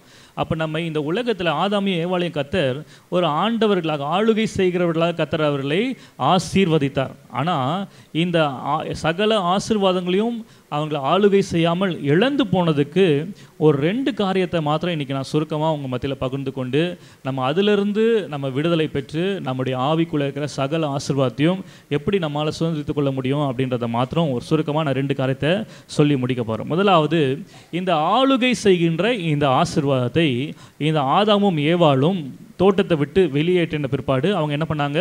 இழந்து போனாங்க. ஆண்டவரை நீங்கள் எல்லாத்தையும் ஆளுகை செய்யுங்கப்பா ஆண்டு கொள்ளுங்கப்பா அப்படின்னு சொல்லி என்ன பண்ணார்? அவர்களை ஆசீர்வதித்தார். ஆனால் என்றைக்கு அவர்கள் கீழ்ப்படியாமினால அந்த பழத்தை வாங்கி புசித்தார்களோ அன்றைக்கே அவர்களிடத்துலேருந்து கத்தருடைய ஆசீர்வாதம் பறிபோனது. அலை லூயா ஆமேன் ஆனால் இது எப்படி அவர்கள் இந்த ஆளுகை செய்கிற ஆசீர்வாதத்தை இழந்து போனார்கள் அப்படி சொல்லி நம்ம தெரிந்து கொள்ளணும் அப்படின்னு சொன்னால் மூன்றாம் அதிகாரம் முதல் வசனத்தை ஒருத்தர் வாசிங்க பார்க்கலாம். தேவனாகிய கத்தர் உண்டாக்கின சகல காட்டு ஜீவன்களை பார்க்கிலும் சர்ப்பமானது தந்திரமுள்ளதா இருந்தது அலையலூயா ஆமேன் ஆண்டவர் உண்டாக்கின சகல காட்டு ஜீவன்களை எது தந்திரமுள்ளதாக இருந்ததுதான் ஆ சர்பத்துடைய கேரக்டர் என்னது? அது தந்திரம் உள்ளது தந்திரம் உள்ளது மாத்திரமல்ல பதிமூன்றாம் வசனம் சொல்லுகிறது அப்பொழுது தேவனாகிய கத்த ஸ்திரியை நோக்கி நீ இப்படி செய்தது என்ன என்றார். ஸ்திரீயானவள் சர்பம் என்ன என்ன பண்ணுச்சு? வஞ்சித்தது. நான் புசித்தேன் என்றால். அலையலூயா ஆமாம் இந்த சர்ப்பம் எப்படிப்பட்டதுன்னா தந்திரம் உள்ளது. ரெண்டாவது வஞ்சிக்கக்கூடியது. இந்த ஆளுகை செய்கிற இந்த அதிகாரத்தை இந்த ஆசீர்வாதத்தை இவர்கள் இழந்து போனதுக்கு மிக முக்கிய காரணம் என்ன அப்படி சொன்னால் இந்த ஏவாளுக்கு தெரியாமல் நடந்த தந்திரம் இவளுக்கு தெரியாமல் நடந்த வஞ்சனை. ஹalleluya இன்னைக்கு கூட நம்முடைய வாழ்க்கையில் அநேக நேரங்களில் நம்ம ஆசிர்வாதத்தை இழந்து நிற்கிறதுக்கு காரணம் என்ன அப்படின்னு சொன்னால் நம்ம ஏதோ செஞ்ச தப்பு கிடையாது. மற்றவர்களால் நமக்கு உண்டான மற்றவர்கள் தந்திரமாக செய்த காரியத்தினால கத் மற்றவர்கள் நம்மை வஞ்சித்ததுனால தான் அநேக நேரங்களில் நம்முடைய வாழ்க்கையில் நம்ம ஆசீர்வாதங்களை இழந்திருக்கிறோம். அல்லேலூயா இதை வந்து நான் யோசேப்புடைய வாழ்க்கையிலேருந்து நான் உங்களுக்கு காண்பிக்க விரும்புகிறேன் யோசேப்புடைய வாழ்க்கையை நீங்கள் எடுத்து வாசித்தீங்க அப்படி சொன்னால் முப்பத்தி ஏழாம் அதிகாரம் ஆதியா முப்பத்தி ஏழாம் அதிகாரத்தில் நான்காம் வசனம் இப்படி சொல்லுகிறது. அவனுடைய சகோதரர் எல்லாரிலும் அவனை தங்கள் தகப்பன் அதிகமாய் நேசிக்கிறதை அவன் சகோதரர் கண்டபோது அவனோடே பட்சமாய் பேசாமல் அவனை பகைத்தார்கள். அல்லேலூயா ஆமேன் இந்த யோசிப்பை குறித்து நம்ம எல்லாருக்குமே தெரியும். இவங்க அப்பா வந்து அவன் மேலே ரொம்ப அன்பு செலுத்துறதுனால அவனுக்கு பல வர்ண அங்கேயெல்லாம் என்ன பண்ணார்? தைத்து கொடுத்ததுனால அப்பா என்ன என்ன எங்களை விட இந்த தம்பியை கடைசி தம்பியை ரொம்ப நேசிக்கிறாரே அப்படின்னு சொல்லி இந்த சகோதரர்கள் எல்லாரும் யோசேப்பின் மேலே என்ன பண்ணாங்களாம் யோசேப் என்ன பண்ணாங்க போட்டிருக்கு? பகைத்தார்கள். நான்காம் வசனம் கடைசியில் வாசிக்கிறோம். அவனை பகைத்தார்கள். அலை லூயா ஆமேன் இதுலேருந்து ஒரு காரியம் புரியுது. அது என்ன அப்படின்னு சொன்னால் நிறையா நேரங்களில் நம்ம ஏன் மற்றவர்களால் பகை பகைக்கப்படுகிறோம் அப்படின்னு சொன்னால் ஏதோ நம்ம தப்பு செஞ்சிட்டோம் அப்படின்னு கிடையாது. ஏன் தெரியுமா? உங்களை யாரோ ரொம்ப நேசிக்கிறாங்க அப்படின்னா ஆட்டோமேட்டிக்காக உங்களை எல்லாரும் என்ன பண்ண ஆரம்பிச்சிருவாங்க? பகைக்க ஆரம்பிச்சிருவாங்க. அது உண்மையாக இல்லையா? சொந்த வீட்டிலே நடக்கும். எப்படி? அத்தனை நாள் அவங்க அம்மா கல்யாணம் ஆகிறதுக்கு முன்னாடி அம்மா அம்மான்னு என்ன பண்ணிகிட்ருப்பான் சொல்லுங்கள் என்ன அம்மா அம்மான்னு என்ன பண்ணிகிட்ருப்பான் சுற்றிட்டுருப்பான் சுற்றிட்டு இருப்பான். அவங்க அம்மா விதவிதமாக சமைச்சு என்ன பண்ணுவாங்க? போடுவாங்க. ஒரு நாள் கூட அவங்க அம்மாட்ட சூப்பராக இருக்குமா? அப்படின்னு சொல்ல மாட்டான். ஆனால் கல்யாணம் ஆன உடனே அவங்க மனைவி சமைக்க தெரியுதோ இல்லையோ செஞ்சு போட்ட எல்லாத்தையும் என்ன பண்ணுவான்? சூப்பராக இருக்குது அப்படின்னு சொல்லி ஃபோட்டோ எடுத்து ஸ்டேட்டஸ் போட்டு இதை பார்க்க பார்க்க அம்மாவுக்கு என்ன ஆகும்? கோபம் வரும். ஃபஸ்ட்டு என்ன வரும்னா பொறாமை வரும். இத்தனை நாள் நம்ம கூட இருந்தால் ஒரு நாளாச்சும் நம்ம சாப்பிட்ட சாப்பாடு நல்லா இருக்குன்னு சொல்லியிருப்பானா? அப்படி சொல்லிட்டு இது இந்த மாதிரி. இப்படி நடக்கிறதுனால கோபம் பொறாமை இது சாதாரணமாக ஒரு விளையாட்டாக நடக்குதுன்னு வச்சுக்கோங்க. இதை விட்டுருங்க. ஆனால் அநேக நேரங்க ஆ. அநேக நேரங்களில் பசங்களை வந்து அம்மா என்ன பண்ணுறாங்க அதிகமாக ஒரு பையனை விட இன்னொரு பையனை அதிகமான இப்போ பெரியவங்களோட சின்னவங்களை அதிகமான இப்படிலாம் சில காரியங்கள் நடக்குது. அதே வேளையில் இது வீட்டுக்குள்ளே நடக்கிற காரியம். ஆனால் இன்னொரு விதத்தில் நீங்கள் பார்த்தீங்க அப்படி சொன்னால் கணவன் மனைவிக்குள்ளே கூட சில நேரங்களில் இப்படி நடக்கும். எப்படி நடக்கும்? மனைவி வந்து பக்கத்து வீட்டில் இருக்கிற ஹஸ்பண்ட் அண்ட் ஒய்ஃபை பார்த்து சொல்லுவாங்க. அவங்க பார்த்தீங்களா எவ்வளோ ஒற்றுமையாக இருக்கிறாங்க. அவங்க பாருங்கள் அப்படியே ஒரு கப்புள் கோல்ஸ்ன்னு சொல்லுவாங்க பார்த்தீங்களா இருந்தால் அவங்கள மாதிரி என்ன பண்ணணும்? இருக்கணும். ஆனால் அவங்க வீட்டுக்குள்ளே போய் பார்த்தா தான் தெரியும் அங்கே என்ன சண்டை நடக்குது அப்படின்னு சொல்லி இல்லையா? ஆனால் வெளியே என்னன்னா ரொம்ப சந்தோஷமாக இருக்கிற மாதிரி என்ன பண்ணுறாங்க காமிச்சிக்கிறாங்க. அப்புறம் ஒருத்தர் அன்பாக இருக்கிறபடினால இந்த மனைவி அவரை மாதிரி நீயும் மாறு அவனை மாதிரியே நீயும் மாறு அப்படின்றதுனால இந்த கணவருக்கு ஆட்டோமேட்டிக்காக அந்த பக்கத்து குடும்பத்து மேலே என்ன வந்துடுது பகை வெறுப்பு வந்துடுது இல்லையா? என்னடா இது? அப்படின்னு சொல்லி நான் இப்படி நம்மளை தொந்தரவு பண்ணுறாங்களே அப்படின்னு சொல்லி நம்மை மற்றவர்கள் ஒருத்தர் யாராவது நம்மளை அதிகமாக நேசிக்க ஆரம்பித்தாலே மற்றவர்களுக்கு அதன் மூலமாய் பகை உண்டாக வாய்ப்பு இருக்கிறது. அல்லேலூயா ஆமேன். மாத்திரமல்ல இதை வந்து நீங்கள் இன்னொரு இடத்துல கூட நீங்கள் பார்க்க முடியும். இருபத்தி ஐந்தாம் அதிகாரத்தில் ஏசா யாக்கோபு. படிச்சிருக்கீங்களா? ஏசா யாக்கோபு கதை. இருபத்தி ஐந்து இருபத்தெட்டு வாசிங்க பார்க்கலாம். ஏசா வேட்டையாடி கொண்டு வருகிறது. ஈசாக்கினுடைய வாய்க்கு ருசிகரமாக இருந்ததினாலே ஏசாவின் மேல் பட்சமாக இருந்தான். ரெபேக்காலோ ஏசாவின் மேலே யார் பட்சமாக இருந்தது? அப்பா. அப்பா யார் மேல பட்சமாக இருந்தார்? மூத்த மகன் மேலே. அப்பாவுக்கு ரொம்ப பிரியம் பாசம். ஆனால் இது யாருக்கு பொறுக்கல? அம்மாவுக்கு பொறுக்கல. அம்மாவுக்கு என்னன்னா சின்ன பையனுக்கு தான் என்ன பண்ணோம் சப்போர்ட்டு இவன் இவனே என்னடா இது எல்லா அப்பாவோட எல்லா இதையும் இவனே எடுத்துகிட்டு போயிடுவானோ அப்படின்னு சொல்லி இங்கேயும் என்ன தான் நீங்கள் பார்க்க முடியும் அப்படி சொன்னால் பகை. இது பகை தானே உண்டாகுது? கடைசியில் பாருங்கள் அவங்க ரெண்டு சகோதரர்களுமே பிரிந்து போகக்கூடிய அளவில் இந்த பொறாமை இந்த பகை வந்து உண்டா இந்த அம்மாவினால் வந்தது உண்டாக்கப்பட்டது. பாருங்கள் இந்த இடத்துல கூட பாருங்கள் அப்பாவுக்கு வந்து இந்த மூத்த பையனை பிடிச்சது ஆனால் அது அம்மாவுக்கு என்ன பண்ணல? பொறுக்கல. இதனால் என்ன ஆச்சு அப்படின்னு சொன்னால் நான் சொன்னது போல் மட் ஒருத்தர் நம்ம பகைக்கிறதுக்கு காரணமாக இருக்கிறதே என்ன அப்படி சொன்னால் ஒருவருடைய அன்பு மற்றவர்கள் நம்மை பகைக்கிறதற்கு சில நேரங்களில் காரணமாக அமை அமையக்கூடும். அப்பா மூத்த பையன் மேலே ரொம்ப அன்பு காட்டினதுனால இது நிமித்தமாக என்ன ஆச்சு அப்படின்னு சொன்னால் அம்மா மூத்த மகன் மேலே பகைக்க ஆரம்பித்தார்கள். அல்லே லூயா அதனால் என்ன ஆச்சு அப்படின்னு சொல்லி நீங்கள் பார்த்தீங்க அப்படின்னு சொன்னால் இருபத்தி ஏழாம் அதிகாரத்தில் இருபத்தி ஒன்பதாம் வசனத்தில் நாம் வாசிக்கிறோம் ஜனங்கள் உன்னை சேவிக்கவும் ஜாதிகள் உன்னை வணங்கவும் கடவர்கள் உன் சகோதரருக்கு எஜமானாயிருப்பாய் உன் தாயின் பிள்ளைகள் உன்னை வணங்குவார்கள் உன்னை சபிக்கிறவர்கள் சபிக்கப்பட்டவர்களும் உன்னை ஆசீர்வதிக்கிறவர்கள் ஆசீர்வதிக்கப்பட்டவர்களுமாய் இருப்பார்கள் என்று சொல்லி அவனை ஆசீர்வதித்தான். ஹalleluya ஆ இங்கே பாருங்க இங்கே என்ன ஆசீர்வாதம் சொல்கிறார் அப்படி சொன்னால் அம்மா சொல்லிட்டாங்க இந்த மாதிரி அப்பா வந்து ஈசா ஏசாவை வந்து நல்லா சமைச்சு எடுத்துன்னு சொல்கிறாரு சமைச்சு சாப்பிட்ட உடனே என்ன பண்ண போகிறாராம் ஆசீர்வதிக்க போகிறாரு அதுக்குள்ளே நான் உனக்கு ஈஸியாக சமைச்சு கொடுத்துறேன். நீ போய் நான் தான் ஏசான்னு வந்து சொல்லி நீ என்ன பண்ணிடு? ஆசீர்வாதத்தெல்லாம் வாங்கிட்டு வந்துரு அப்படின்னு சொல்லி சொன்ன உடனே இவனும் அதே மாதிரி அம்மா சொன்னபடிலாம் செஞ்சிடறான். ஏசாவும் ஏ- இவன் தான் ஏசா நம்பி என்ன பண்ணிடுறான்? ஆசீர்வதிச்சிடறான். அந்த ஆசீர்வதிக்கிற ஆசீர்வாதத்தில் என்ன ஆசீர்வாதம் போட்டிருக்கு? நல்லா கவனித்து பார்த்தீங்க அப்படின்னு சொன்னால் இங்கே வசனம் சொல்லுது இருபத்தி ஒன்பதாம் வசனத்தில் உன்னை சேவிக்கவும் ஜனங்கள் உன்னை சேவிக்கவும் ஜாதிகள் உன்னை வணங்கவும் கடவர்கள் அப்படின்னு சொல்லி அப்படி சொல்லி ஆசீர்வதித்து அதுக்கப்புறம் என்ன வாசிக்கிறோம்? உன் தாயின் பிள்ளைகள் உன்னை வணங்குவார்கள். யாரை ஒருத்தர் வணங்குவாங்க? ஒரு ராஜாவை என்ன பண்ணுவாங்க? வணங்குவாங்க. ஒரு நல்ல பொசிஷனில் இருக்கிறவங்களை என்ன பண்ணுவாங்க? வணங்குவாங்க. மாத்திரமல்ல இந்த வசனத்தில் நீங்கள் தொடர்ந்து வாசித்தீங்க அப்படி சொன்னால் உன் சகோதரனுக்கு எஜமானா இருப்பாய். அப்படின்னு என்ன அர்த்தம்? உன் சகோதரனை நீ ஆளுகை செய்வாய். ஹalleluya சத்தமாக சொன்ன லூயா இந்த அம்மா வந்து ஏன் வந்து அந்த காரியத்தை அவன் சு- மூத்த குமாரன் பெற்றுக்கொள்ளக்கூடாது இளையகுமாரன் பெற்றுக்கொள்ளணும் அப்படின்னு சொன்னால் அவங்களுக்கு தெரியும் ஆளுகை செய்கிறது என்பது மிகப்பெரிய ஒரு ஆசீர்வாதம். லூயா அதை எப்படியாவது இந்த சின்ன பையனுக்கு பெற்றுக் கொடுத்தோம்னு சொல்லி தான் அவங்க தந்திரமாக சில காரியங்களை மூவ் பண்ணுறாங்க ஹலே லூயா அதே தான் அவங்க தகப்பனே அதை சொல்கிறார் முப்பத்தி ஐந்தாம் வருஷத்தை நீங்கள் வாசிங்க அப்படி சொன்னால் அதற்கு அவன் உன் சகோதரன் தந்திரமாய் வந்து உன்னுடைய ஆசிர்வாதத்தை பெற்றுக்கொண்டான் என்றார். அலே லூயா பாருங்க சில நேரங்களில் நம்மை அறியாமலே கத்தர் நமக்குள்ளே இருக்கிற வைத்திருக்கிற இந்த ஆளுகை செய்கிற ஆசீர்வாதங்களை நாம் எப்படி இழந்து போகிறோம் அப்படி சொன்னால் மற்றவர்கள் மூலமாய் தந்திரமாய் வருகிற சதி ஆலோசனைகள் மூலமாய் நம்முடைய ஆசீர்வாதங்களை நம்ம இழந்து போகிறோம். ஹலே லூயா நீங்கள் மறுபடியும் இந்த யோசேப்புடைய கதைக்கு வரும்போது அங்கே என்ன வாசிக்கிறோம் அப்படின்னு சொன்னால் முப்பத்தி ஏழாம் அதிகாரம் ஐந்தாம் வசனம் வாசிக்கிறோம் யோசேப்பு ஒரு சொப்பனம் கண்டு அதை தன் சகோதரருக்கு அறிவித்தான். அது நிமித்தம் அவனை இன்னும் அதிகமாக என்ன பண்ணாங்க? பகைத்தார்கள். யோசேப்பு எதை கண்டான்?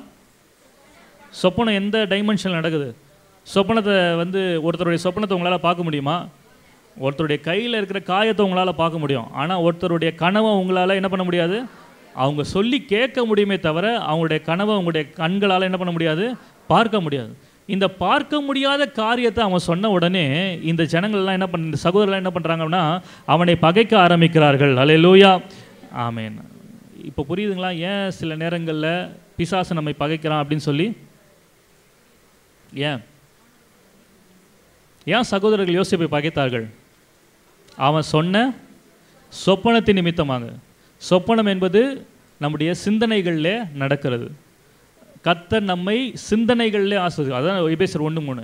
கிறிஸ்துவுக்குள் உன்னதங்கள் ஆசிரியர் கிறிஸ்து என்று சொன்னால் நேர்மறையான எண்ணங்கள். நம்முடைய எண்ணங்களிலே கத்த நம்மை ஆசீர்வதித்திருக்கிறபடினால அந்த எண்ணங்களின் மூலமாய் நம்ம ஆளுகை செய்து அந்த ஆசீர்வாதங்களை பெற்றுக்கொள்ளக்கூடாதபடிக்கு பகையை உண்டு பண்ணி தந்திரமாய் நம்ம அந்த ஆளுகை செய்கிற காரியங்களை இழந்து போக வேண்டும் என்று சொல்லி சத்ரு தந்திரமாய் நம்முடைய வாழ்க்கையிலே நுழைவான். அலையலூயா ஆமேன். பாருங்கள் இந்த வசனம் தொடர்ந்து இந்த முப்பத்தி ஏழாம் அதிகாரத்தில் நீங்கள் வாசிக்கும் பொழுது எட்டாம் வசனம் சொல்லுகிறது அப்பொழுது அவன் சகோதரர் அவனை பார்த்து நீ எங்கள் மேல் துரைத்தனம் பண்ணுவாயோ? நீ எங்களை ஆளப்போகிறாயோ? என்று சொல்லி அவன் சொப்பனங்களின் நிமித்தம் அவன் வார்த்தைகள் நிமித்தமும் இன்னும் அதிகமாய் பகைத்தார்கள். அலை லூயா ஆமேன். பாருங்கள் நம்முடைய வாழ்க்கையில் பிரச்சனைகள் எப்போ வரும் அப்படின்னு சொன்னால் எவ்வளவுக்கு எவ்வளோ உங்களுக்குள்ளே இருக்கிற ஆவிக்குள்ளே இருக்கிற ஆசீர்வாதங்களை நீங்கள் ஆள வேண்டும் என்று சொல்லி நீங்கள் முயற்சி எடுக்கிறீங்களோ அந்த அளவுக்கு பிசாசானவன் தந்திரமாய் வஞ்சனையின் மூலமாய் அந்த ஆளுகை செய்கிற அதிகாரத்தை நீங்கள் இழந்து விட வேண்டும் என்று சொல்லி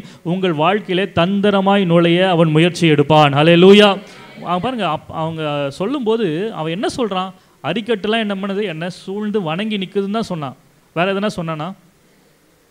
முந்தின வசனத்தை பாருங்கள் ஏழாம் வசனம் நான் வயலில் அறுத்த அரிகளை கட்டி கொண்டிருந்தோம். அப்பொழுது என்னுடைய அரிக்கட்டு நிமிர்ந்திருந்தது. உங்கள் அரிக்கட்டுகள் என் அரிக்கட்டை சுற்றி வணங்குச்சுன்னு தான் சொன்னானே தவிர நான் உங்கள் மேலே ஆளுகை செய்ய போகிறேன் நான் என்ன பண்ணல? சொல்லலை. ஆனால் இந்த சகோதரர்களுக்கு தெரிந்திருந்தது இந்த சொப்பனத்தினுடைய முக்கியத்துவம். ஹalleluya. ஒருவேளை அவனுக்கே தெரிஞ்சுதா என்னன்னு தெரியல. எனக்கு யோசிப்புக்கே தெரிஞ்சுதா என்னன்னு தெரியல. ஆனால் சகோதரர்கள் துல்லியமாக அதை வந்து என்ன பண்ணுறாங்கன்னா அந்த சொப்பனத்தை அப்படியே இன்டர்பிரேட் பண்ணுறாங்க என்னன்னு சொல்கிறாங்க நீ எங்களை ஆளுகை செய்வாயோ? அப்படின்னு சொல்லி என்ன பண்ணுறாங்க சொல்கிறாங்க ஏன்னா இந்த ஆளுகை செய்கிற காரியத்தை தான் ஆதாம் ஏவாளுடைய கைகளிலிருந்து பிசாசானவன் சர்பத்தின் மூலம் தந்திரமாய் பறித்து கொண்டு போனான். ஹலே லூயா அவன் ஒன்பதாம் வசனத்தில் வாசுங்க. இன்னும் அவன் வேறொரு சொப்பனம் கண்டு தன் சகோதரரை நோக்கி இன்னும் ஒரு சொப்பனத்தை கண்டேன் அப்படின்னு சொல்லிட்டு இந்த சொப்பனத்தை சொல்லும்போது பதினோராம் வசனம் வாசிக்கிறோம். அவன் சகோதரர் அவன் மேல் என்ன பண்ணாங்களாம்? பொறாமை கொண்டார்கள். ஹலே லூயா ஆமேன். பாருங்கள் நீங்கள் எவ்வளவுக்கு எவ்வளோ ஆவிக்குரிய ஆசீர்வாதங்கள் மேலே உங்களுடைய கவனத்தை திருப்ப நிர்ணயிக்கிறீர்களோ அவ்வளவுக்கு அவ்வளோ மற்றவர்கள் மூலமாய் உங்களுக்கு பொறாமைகளும் மற்றவர்கள் தந்திரங்களும் வஞ்சனைகளும் உங்களுடைய வாழ்க்கையில் நிச்சயமாய் வரும் என்பதில் எந்த சந்தேகமும் கிடையவே கிடையாது. ஹலோ லூயா இங்கே சகோதரர்கள்லாம் பொறாமை கொண்டார்கள்னு வாசிக்கிறோம். பொறாமைனா என்னது? அதுக்கு இங்கிலீஷில் என்வின்னு போட்டிருக்கு. என்வின்ற வார்த்தைக்கு வந்து நான் ஒரு என்ன டிக்ஷனரியில் பார்த்தேன். அதில் இங்கிலீஷ் இங்கிலீஷில் என்ன போட்டிருக்குன்னா இந்த பொறாமைனா desire to have a quality position or other desirable attitude attribute belonging to someone else வேறு ஒருவருக்கு சொந்தமான உடைமைகளை அல்லது அவர்களுடைய குவாலிட்டிஸ் அவங்களுடைய தாளந்துகளை அதே போல் எனக்கும் வேணும் அப்படின்னு சொல்லி அது மேலே ஆசைப்படுறது. அதுக்கு பேர் தான் என்னது அப்படி சொன்னால் பொறாம. ஆனால் இந்த பொ- அது அதுக்கு பேர் பொறாமல் இல்லை. எப்போ அது பொறாமையாக அது ஆசை தான். மற்றவங்க மாதிரி எனக்கும் நல்ல கார் தான் நல்லா இருக்குமே. மற்றவங்க மாதிரி நல்லா நல்லா நானும் நல்லா பணம் நல்லா இருக்குமே. மற்றவங்க நான் நல்லா கீபோர்டு வசா நல்லா இருக்குமே. மற்றவங்க நானும் நல்லா சாரீ கட்டினா நல்லா ட்ரெஸ் போட்டு நல்லா சூப்பராக இருந்தால் பணக்காரனாக இருந்தால் நல்லா இருக்குமே அப்படின்னு ஆசைப்படுறது தப்பு இல்லை.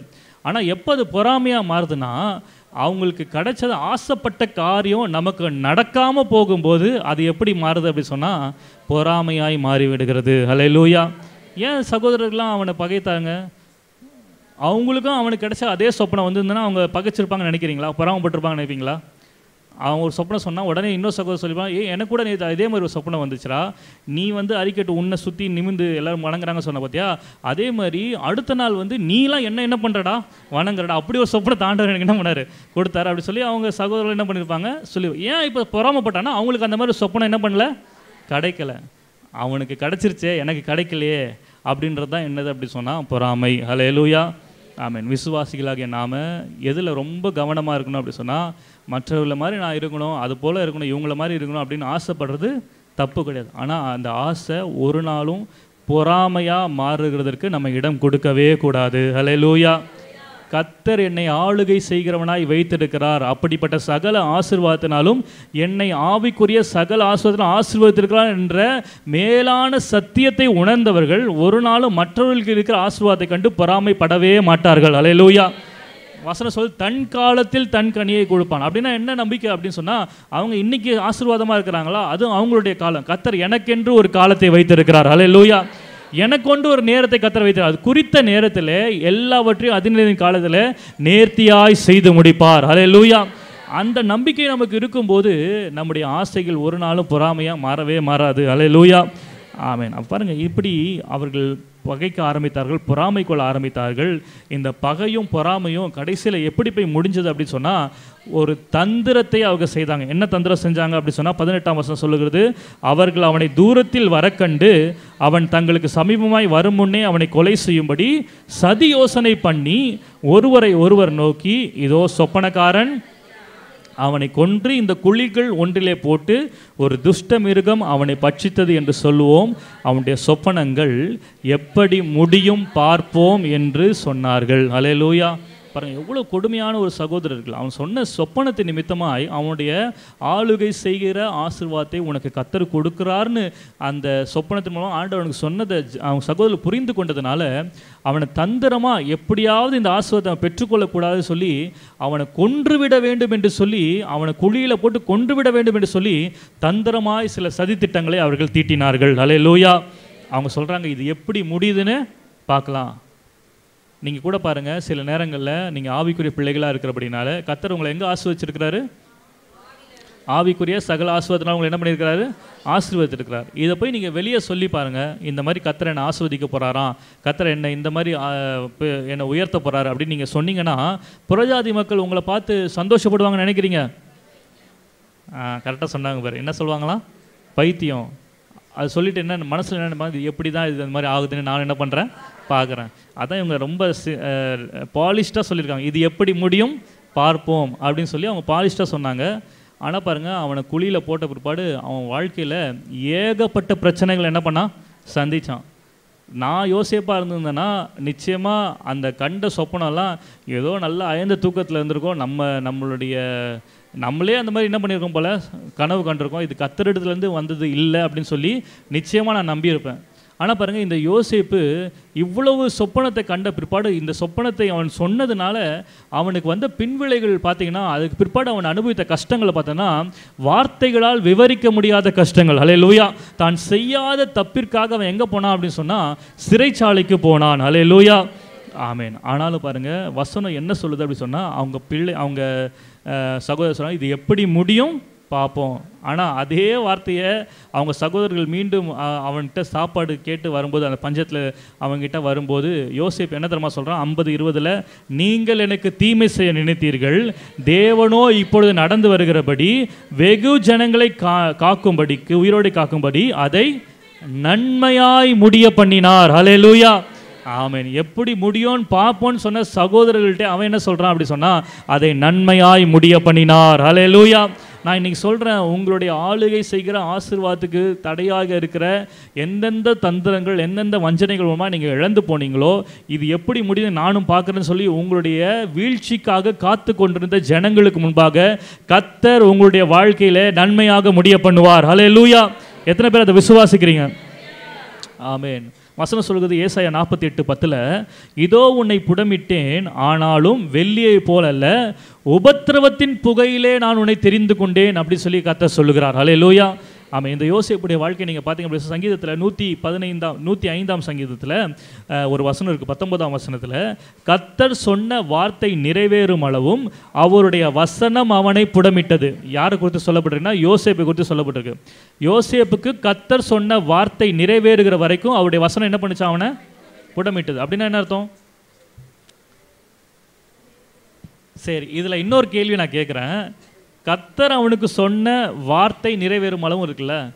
கத்தர் அவனுக்கு வார்த்தையை கொடுத்தான்னு எங்கேயாச்சும் வேதத்தில் போட்டிருக்குதா?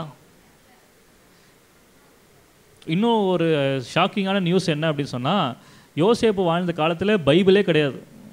அப்போ எப்படி அவன் கத்தருடைய வார்த்தையை அவன் பெற்றுக்கொள்வான்?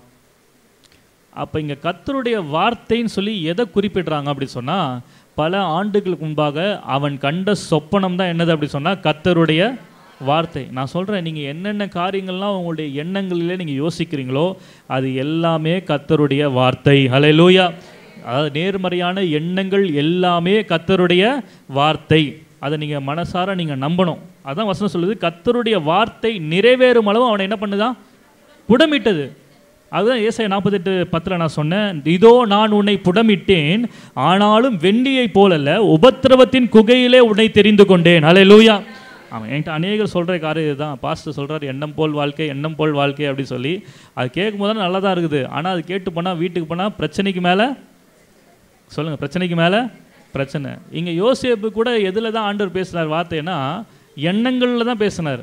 சொப்பனன்னா என்னது? எண்ணங்கள் இல்லையா? அந்த எண்ணங்களில் அவன் வார்த்தையை பெற்றுக்கொண்ட உடனே உடனே எல்லாம் அவன் லைஃப் அப்படியே ரொம்ப சந்தோஷமாக ஆயிடுச்சா? அவன் லைஃப் சந்தோஷமாக ஆகிறதுக்கு முன்பதாக பல துக்கங்களை பல இன்னல்களை பல பிரச்சனைகளை அவன் சந்தித்தான். ஹalleluya ஆகவே தான் கத்த சொல்கிறார் நான் உன்னை புடமிட்டு கொண்டிருக்கிறேன். இன்றைக்கி நீங்கள் பார்த்து கொண்டிருக்கிற பல பிரச்சனைகள் எதுக்கு என் வாழ்க்கையில் இவ்வளோ பிரச்சனை வருது? நீங்கள் ஒரு வேலை கேள்வி கேட்டு கொண்டிருக்கலாம். கத்தர் சொல்லுகிறார் உன்னை நான் உபத்திரவத்தின் குகையிலே தெரிந்து கொண்டிருக்கிறேன். ஹalleluya ஏன் தெரிந்து கொண்டிருக்கிறேன்னா உன்னை இந்த உபத்திரவத்தின் வழியாய் புடமிட்டு கொண்டிருக்கிறேன். நான் உனக்கு சொன்ன எல்லா வார்த்தைகளையும் நிறைவேற்றும்படியாக இந்த உபத்திரவத்தின் வழியாய் நான் உன்னை புடமிட்டு கொண்டிருக்கிறேன். ஹalleluya இதை நீங்கள் ஒரு நாளும் மறந்து விடக்கூடாது ஏன் ஆண்டவரே எனக்கு இவ்வளோ பிரச்சனை ஏன் ஆண்டவரே இவ்வளோ சோதனை அப்படின்னு சொல்லி நீங்கள் நினச்சிங்கன்னா இந்த சோதனைகள் மூலமாய் கத்தர் உங்களை பெரிய இடத்துல கொண்டு போய் நிறுத்த போகிறார். இந்த யோசிப்பை கொஞ்சம் யோசிச்சு பாருங்கள் அவன் கத்தருடைய வார்த்தை அவனை புடமிட்டு கொண்டிருந்த போது அவனுக்கு கொஞ்சம் கூட யோ அவன் வந்து நம்புகிறதுக்கு வாய்ப்பே இல்லை. ஏன்னா இந்த அவனுடைய வா அவனுடைய வாழ்க்கையை நீங்கள் பார்த்தீங்க அப்படி சொன்னால் அவனுடைய சூழ்நிலையை நீங்கள் பார்த்தீங்க அப்படி சொன்னால் கத்தருடைய வார்த்தை என்ன சொன்னதோ அப்படியே டைரக்ட் ஆப்போசிட்டாக அவன் வாழ்க்கையில் நடந்து கொண்டிருக்குது. அவன் என்ன சொன்னார்? ஆண்டவர் எல்லாரும் உனக்கு முன்பாக என்ன பண்ணுவாங்க? வணங்குவாங்க. ஆனால் யோசிப்பு எப்படியா விற்கப்பட்டான்னா அடிமையாக என்ன பண்ணான் விற்கப்பட்டான். அடிமையுடைய வேலையே என்னது அப்படின்னு சொன்னால் யாராவது வீட்டுக்கு வந்தால் என்ன பண்ணோம் ஆ சொல்லுங்கள் என்ன பண்ணோம் வணங்கணும். ஸ்லேவ் தானே அவன் ஒரு அடிமை தானே. போகிற இடத்துல எல்லாம் என்ன பண்ணணும்? குனிஞ்சு குனிஞ்சு குனிஞ்சு குனிஞ்சு குனிஞ்சு என்ன பண்ணணும்? வணங்கி வணங்கி வணங்கி வணங்கி வேலை செய்யணும். அப்போ யோசிச்சு பார்த்துருப்பா என்னடா இது? ஆண்டவர் என்ன எல்லாரும் வணங்குவாங்கன்னு சொன்னால் இப்போ நான் எல்லாரும் என்ன பண்ணிகிட்ருக்கேன் வணங்கிட்டு இருக்கேனே. இது உண்மைதானா இந்த வ- வார்த்தை? அதுக்கடுத்து நீங்கள் யோசிச்சு பார்த்தீங்க அப்படி சொன்னால் ஆண்டவர் சொன்னார் உன்னை நான் வந்து ராஜாவாக என்ன பண்ணுவேன்? மாற்றுவேன் உன்னை ஒரு அதிகா அதிபதியாக மாற்றுவேன்னு சொன்னால் இவன் எப்படி இருக்கிறான் அப்படி சொன்னால் சிறைச்சாலையில் ஒரு கைதியாக என்ன பண்ணிகிட்ருக்கான் இருக்கிறான். அவன் கொஞ்சம் கூட யோசித்து பார்த்துருக்க மாட்டான். இப்படி ஒரு நிலைமையில் இருக்குமே எப்படி இந்த கத்தருடைய வார்த்தையினுடைய வாழ்க்கையில் நிறைவேறும். ஆனால் அவனுக்கு தெரியாமல் அவன் கண்ட சொப்பனம் அவனை புடமிட்டு கொண்டிருந்தது. அலே லோயா ஏன் அப்படி சொன்னால் வெகு ஜனங்களை உயிரோடே காப்பாற்றும்படிக்கு மற்றவர்கள் தந்திரமாய் அவனுக்கு செய்த ஆலோசனைகளை கத்த நன்மைக்கு ஏதுவாக முடிய பண்ணினார். அலே லூயா நான் இன்னைக்கு சொல்கிறேன் நீங்கள் ஒருவேளை ஒரு காலத்தில் நல்லா ஆசீர்வாதமாக சந்தோஷமாக இருந்த குடும்பமாக நீங்கள் இருந்திருக்கலாம். யாரோ ஒருவர் செய்த வஞ்சனை நிமித்தமாய் நீங்கள் சந்தோஷமாக இருக்கிறத நீங்கள் அந்த ஆண்டவர் கொடுத்திருக்கிற ஆளுகை செய்கிற ஆசீர்வாத ஆசீர்வாதங்களை ஆளுகை செய்கிற அதிகாரத்தை பெற்று அதை உபயோகிக்கிறவர்களாய் நீங்கள் ஆசீர்வாதமாக இருந்ததுனால நீங்கள் அன்பாக இருந்ததுனால மற்றவர்கள் உங்கள் மேல் பொறாமை கொண்டு மற்றவர்கள் உங்கள் மேல் பகையை உருவாக்கி அது நிமித்தமாய் பல தந்திரமான காரியங்கள் செயல்பட்டதுனால நீங்கள் இன்றைக்கு உங்களுடைய ஆசீர்வாதங்களை இழந்து போய் யோசிப்பை போல யோசிப்பு எந்த ஒரு தப்புமே என்ன பண்ணல? செய்யல. ஆக்சுவலாக சொல்ல போயிருந்தா ஆண்டவர் வாக்குதத்தை கொடுத்த தேவன் யோசேப்பை அன்னைக்கே என்ன பண்ணியிருக்கலாம்? காப்பாற்றிருக்கலாம் இன்றைக்கி கூட அநேகருக்கு அதான் பிரச்சனை. ஆண்டவர் என்னை இப்படி ஆசீர்வாதம்லாம் சொல்லியிருக்கிறாரு இவ்வளோ காரியத்தை சொல்லியிருக்கிறாரு இவ்வளோ வாக்குத்தங்களை சொல்லியிருக்கிறாரு. ஏன் அப்பயே என்னை காப்பாற்றலாம் ஏன் இவ்வளோ பிரச்சனைக்குள்ளே நடத்துகிறாரு அப்படின்னு சொன்னால் இந்த பிரச்சனைகள் எல்லாமே உங்களை புடமிட்டு கொண்டிருக்கிறது. அலை லூயா உங்களை உங்களை தெரிந்து கொண்டிருந்தால் மத் மாத்திரமே இந்த உபத்திரவத்தின் புகையில் உங்களால் போக முடியும். அதனால் நீங்கள் ஆண்டவருக்கு நன்றி உள்ளவர்களாக இருக்கணும். ஆண்டவரே நீர் என்னை தெரிந்து கொண்டதற்காக உமக்கு நன்றி. ஹalleluya யாரை ஆண்டவர் இந்த உபத்திரவத்தின் குகைக்குள்ள அனுப்பி அவர்களை புடமிடுகிறார் என்று சொன்னால் கத்தர் யாரை தெரிந்து கொள்ளுகிறாரோ அவர்களை தான் கத்தர் புடமிடுகிறார். லூயா ஆகவே பாருங்க இக்காலத்து பாடுகள் இனி வெளிப்பட போகும் மகிமைக்கு ஒப்பிடத்தக்கவைகள்? இப்போ பா இப்போ நான் பா பா பார்த்து கொண்டிருக்கிற பிரச்சனைகள் அப்படியே இருந்துருமா அப்படின்னு சொன்னால் அது ஒரு நாளும் அப்படியே கண்டினியூ ஆக போகிறது இல்லை ஏன்னா கத்தர் அதை நன்மைக்கு எதுவாக முடிய பண்ணுவார். ஹலே லூயா யார் யாரெல்லாம் உங்களுடைய ஆசீர்வாதத்துக்கு விரோதமாக தந்திரமாக பகை பகையாக பொ- காரியங்களை செய்தார்களோ அது நிமித்தமாக ஒருவேளை உங்களுடைய ஆசீர்வாதங்களையே கூட நீங்கள் இழந்து போயிருக்கலாம். உங்களுடைய ஸ்தானத்தை விட்டு விட்டு உங்களை துரத்தியிருக்கலாம். எப்படி யோசிப்பே அந்த வீட்டிலிருந்தே துரத்துனாங்களோ அந்த மாதிரி துரத்தப்பட்ட ஒரு அனுபவத்துக்குள்ளாக இருந்து கொண்டு இந்த காலவேளை நீங்கள் இந்த வார்த்தையை கேட்டுக்கொண்டிருக்கலாம். ஆனால் கர்த்தர் சொல்லுகிறார் உன்னை நான் உபத்திரவத்தின் புகையிலே தெரிந்து கொண்டிருக்கிறேன். ஹலே லூயா எதற்கு உபத்திரவத்தின் கோயிலை தெரிந்து கொண்டிருக்காருன்னா கர்த்தர் நமக்கு கொடுத்துருக்கிற வாக்குத்தங்கள் நம்மை புடமிடும்படியாக. ஹலே லூயா ட்ரையல் அப்படின்னா ட்ரையல்னா போட்டிருக்கு. சில ஒரு வேர்ஷனில் ட்ரையல்னு ஒரு வார்த்தை வருது. அடுத்தது வேறு என்ன வார்த்தை இருக்குது இங்கிலீஷில் என்ன மாதிரி இருக்குது டெம்டேஷன் சோதனை அப்படின்னு சொல்லி வருது. அப்ப பாருங்க ட்ரையல் அப்படின்ற வார்த்தையை நான் பேச வருவேன் ட்ரையல்னால் என்ன அர்த்தம் அப்படின்னு சொன்னால் ஒரு வார்த்தை சொல்லுவாங்க trial and error trial and கேள்விப்பட்டிருக்கீங்களா? அதாவது வந்து பல வேல்யூஸை போட்டு போட்டு பார்த்து இது கரெக்டாக வருதா அது கரெக்டாக வருதா அப்படின்னு சொல்லி ட்ரையல் அண்ட் எரர் மெத்தடில் இதை நாங்கள் கண்டுபிடிச்சோம் அப்படின்னு சொல்லி சொல்லுவாங்க. அப்போ பாருங்க எந்த வேல்யூ கரெக்டாக வருதோ அது இவங்களுக்கு செட் ஆகும் அப்படின்ற மாதிரி. அப்போ இந்த பல பிரச்சனைகள் ஏன் வருது அப்படின்னு சொன்னால் இதன் மூலமாக கத்தர் ஏதோ ஒரு பாடத்தை உங்களுக்கு கற்றுக் கொடுத்து கொண்டிருக்கிறார். ஹலே லோயா ஒருவேளை இந்த பாடங்கள்லாம் இருந்தால் மாத்திரமே உங்களால் அந்த பெரிய அந்த ஸ்தானத்தில் கொண்டு போய் உங்க நீங்கள் அந்த ஸ்தானத்தில் உங்களால் நிலையாய் நின்று மற்றவர்களை ஆளுகை செய்ய முடியும் இல்லையா? பாருங்கள் ஒருவேளை இந்த இந்த யோசேப்பை டைரெக்டாக ஆண்டவர் அப்படியே போய் அந்த ராஜா ராஜ அரண்மனையில் உட்கார வச்சிருந்தாருன்னா அவனுக்கு இந்த உலகம் எப்படிப்பட்டது ஜனங்கள் எப்படிப்பட்டவங்க அப்படின்றத ஒன்றுமே என்ன பண்ணியிருக்காது? தெரிஞ்சிருக்காது. மேபி ஒன்றே ஒன்று தெரிஞ்சிருக்கும். அவங்க சகோதரர்கள் என்னை வந்து பகைக்கிறாங்க. சகோதரர்கள் ரொம்ப மோசமானவங்கப்பா. அப்படின்றது மாத்திரம் தான் அவனுக்கு என்ன பண்ணியிருக்கோம்? விளங்கியிருக்கும். ஆனால் இவன் இவன் தன்னுடைய வாழ்க்கையில் சந்தித்த பல சோதனைகள் இவனுடைய வாழ்க்கையில் பல பாடங்களை கற்றுக்கொண்டு கொடுத்தது. ஆகினால பிற்காலத்தில் அவன் ஆசிர்வதிக்கப்பட்ட போது அந்த நிலைமையில் அவன் இருக்கும்போது அவனுக்கு இப்பொழுது எப்படி ஜனங்கள் மேலே அதிகாரம் செலுத்த வேண்டும் எப்படி இவர்களை ஆளுகை செய்ய வேண்டும் என்று சொல்லக்கூடிய எல்லா ஞானத்தையும் கத்தர் இந்த இடைப்பட்ட காலத்தில் அவனுக்கு போதித்து கொண்டிருந்தார். ஹலே லூயா ஆகவே உங்கள் வாழ்க்கையில் நடக்க பிரச்சனைகளை குறித்து நீங்கள் இழந்து போன காரியத்தை குறித்து ஒரு நாள் கலங்காதீங்க. கத்தர் உங்களை புடமிட்டு கொண்டிருக்கிறார். கத்தர் உங்களுக்கு பாடங்களை கற்பித்து கொண்டிருக்கிறார். ஹலே லூயா இது மூலம் பெரிய ஆசீர்வாதத்தை கத்தர் உங்களுக்கு வைத்திருக்கார் என்பதை ஒரு நாள் என்ன பண்ணக்கூடாது? மறந்து போகக்கூடாது. எனக்குள்ளே இருக்கிற ஆவிக்குரிய ஆசீர்வாதங்களை நான் சுதந்திரித்து கொள்ளக்கூடாதபடிக்கு தடையாக இருக்கிறது என்ன அப்படி சொன்னால் மற்றவருடைய தந்திரங்கள் மற்றவருடைய வஞ்சனைகள். ஹலே லூயா ஆமேன் ஒரு நாளும் நம்ம வந்து விசுவாசிகள் எப்படி இருக்கக்கூடாது அப்படின்னு சொன்னால் மற்றவர்கள் மேலே பொறாமைப்படுகிறவர்களாய் மற்றவர்களை பகைக்கிறவர்களாய் ஒரு நாள் என்ன பண்ணக்கூடாது? இருக்கவே கூடாது. நான் சொன்னது போல் மற்றவர்களுக்கு கிடைத்தது எப்போ எனக்கு கிடைக்கலையோ அப்போ தான் எனக்கு என்ன வரும் அப்படி சொன்னால் பொறாமை வரும். அது மற்றவர்கள் கிடைச்சிருக்கு அது எனக்கும் கிடைக்கணும் ஆசை இருக்கிறது உண்மை. ஆசை இருக்கிறது எந்த தவறும் இல்லை. ஆனால் அந்த ஆசை எப்போது பொறாமையாக மாறினா எனக்கு கிடைக்கலன்னு தெரியும் போது தான் அது எப்படி மாறும் அப்படி சொன்னால் பொறாமையாக என்ன பண்ணுது? மாறுது. அப்படி ஒரு நாள் என்ன பண்ணக்கூடாது? இந்த சர்மம் எப்படிப்பட்டது அப்படி சொன்னால் தந்திரம் உள்ளது. நைஸாக அந்த அம்மாவுடைய காதில் வந்து என்ன பண்ணுச்சா? பேசிச்சு. இன்றைக்கி நிறைய ஆவிக்குரிய சர்பங்கள் சர்ச்சில் என்ன பண்ணுது? இருக்குது. என்னது? நைஸாக காதில் வந்து என்ன பண்ணுது? பேசுது. அலே லூயா சத்தமாக சொல்லுங்கள் அலை லூயா இதில் என்ன கொடுமைனா சில சந்திர ச- சில சர்ப்பங்கள் பாஸ்ட் காதிலே என்ன பண்ணுது? இப்படி பேசுங்க அப்படி பேசுங்க என்ன பண்ணுது? ஒரு ஒரு மாதத்துக்கு ப ஒரு சில சில மாதங்களுக்கு முன்னாடி ஒரு ப்ரேயருக்கு போயிருந்தேன். அந்த ப்ரேயருக்கு வந்து ஒரு பாஸ்ட்டை வெளியே இருந்து கூப்பிட்டுருந்தாங்க. கூப்பிடும்போதே முன்னாடி நாளே ஃபோன் வந்துச்சு. இங்கே கூப்பிட்டவங்கள்ட்டருந்து கூப்பிட்ட பாஸ்டர் ஃபேமிலியில அவருக்கு என்ன போயிடுச்சு? இந்த மாதிரி பாஸ்டர் சர்ச்சில் எல்லாம் ஒரு மாதிரி ஜனங்கள்லாம் ஒரு மாதிரி இருக்காங்க பாஸ்டர் ஒருத்தருக்கு ஒருத்தர் பொறாமையும் எரிச்சலும் கோபமும் இருக்கிறாங்க மனஸ்தாபம் இருக்குது. இதெல்லாம் கொஞ்சம் என்ன பண்ணுங்கள் கடிந்து பேசுங்க பாஸ்டர் அப்படின்னு சொல்லி பாஸ்டருக்கு ஆல்ரெடி என்ன பண்ணிச்சு? ஃபோனில் போயிடுச்சு. இதுக்காக தான் நீங்கள் வரீங்க இதுக்காக பேசுங்க அப்படி சொல்லி.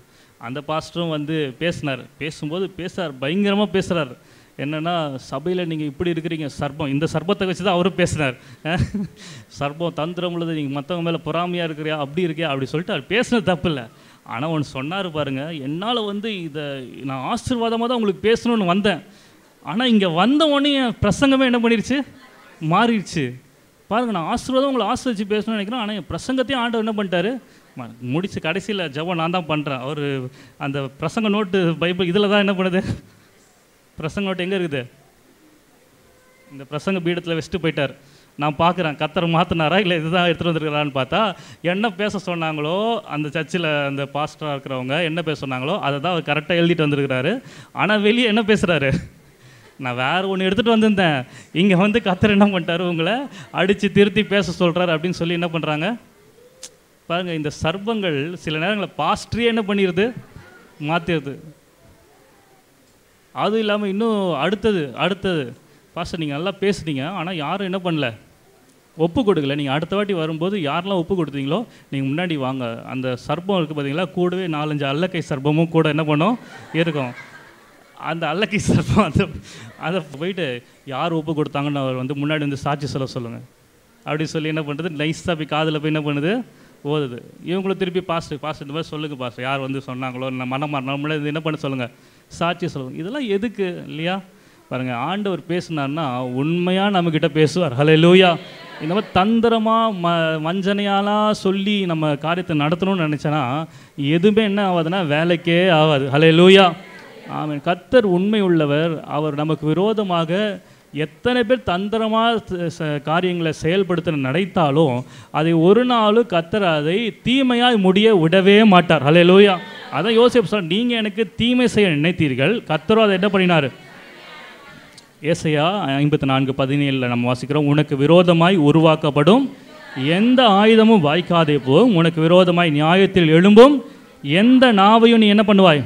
குற்றப்படுத்துவாய். இது கத்தருடைய ஊழியக்காரரின் சுதந்திரமும் என்னால் உண்டான அவருடைய நீதியுமாய் இருக்கிறது என்று கத்தர் சொல்லுகிறார். ஹலே லூயா சத்தமாக சொன்ன ஹலே லூயா ஆமே உனக்கு விரோதமாய் உருவாக்கப்படும் எந்த ஆயுதமும் இது என்ன ஆயுதம் தெரியுங்களா?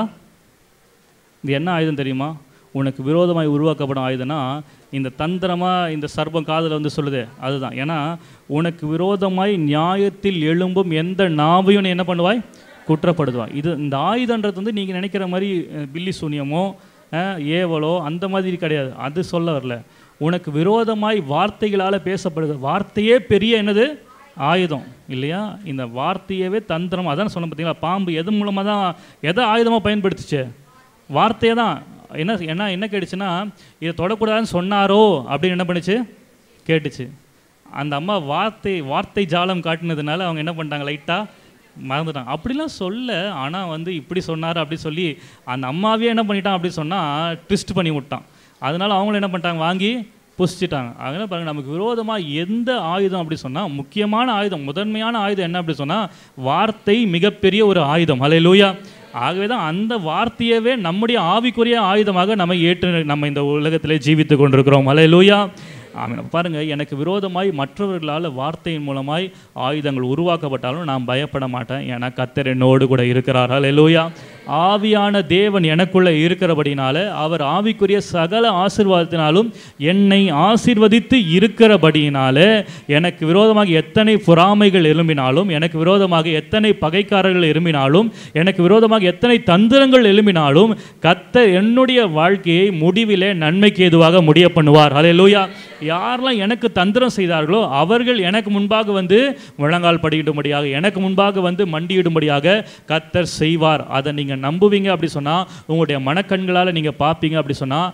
நிச்சயமாக கத்தர் உங்களுடைய வாழ்க்கையில் அற்புதங்களை செய்வார். ஹalleluya இன்னொரு காரியத்தை நான் சொல்லி முடிக்க விரும்புகிறேன் என்ன அப்படின்னு சொன்னால் நான் சொன்னது போல் எண்ணம் போல் வாழ்க்கைனா அநேக பிரச்சனைக்கு மேலே பிரச்சனை வருதுன்னா என்ன அர்த்தம் அப்படின்னு சொன்னால் இந்த பிரச்சனைக்கு மேலே பிரச்சனைகள் ஏன் வருது அப்படின்னு சொன்னால் கத்தர் ஒவ்வொரு முறையும் உங்களை சோதித்து கொண்டிருக்கிறார். என்ன சோதித்து சோதித்து கொண்டிருக்கிறார் அப்படி சொன்னால் நீங்கள் வந்து வார்த்தையை யுத்தம் பண்ண அனு நீங்கள் அனுப்புகிறீங்களா அல்லது உங்களுடைய மாம்சீகத்தை யுத்தம் பண்ண அனுப்புகிறீங்களா யோசேப்பு நினச்சிருந்தா அவன் என்ன பண்ணியிருக்கலாம் அப்படின்னு சொன்னால் அவன் மாம்சீகமாக யோசித்து நான் வந்து இந்த யுத்தத்தை நான் முன்னாடி இவங்க வந்து எல்லாம் தப்பு செய்கிறாங்க எல்லாம் எனக்கு விரோதமாக செய்கிறாங்க நான் எந்த தப்பும் பண்ணல அவன் சொல்லி அவனே அவனை என்ன பண்ணியிருக்கலாம்? ப்ரொமோட் பண்ணியிருக்கலாம் ஆனாலும் பாருங்கள் அவன் வந்து கத்தருடைய வார்த்தையை அவனை புடமிடும்படியாக அவன் தன்னை ஒப்பு கொடுத்தான் ஹலே லூயா அவன் அந்த நடந்த எல்லா சான்ஸையுமே கூட வந்து அவன் யூஸ் பண்ணியிருந்துக்கலாம். போத்திவாருடைய மனைவி அவனை வந்து பாவமான காரியத்துக்கு அழைத்த போது அவனை வே அவனை கண்டுபிடிக்கிறதுக்கு நிச்சயமாக யாருமே என்ன பண்ணியிருந்திருக்க மாட்டாங்க? இருந்திருக்கவே மாட்டாங்க. இல்லையா?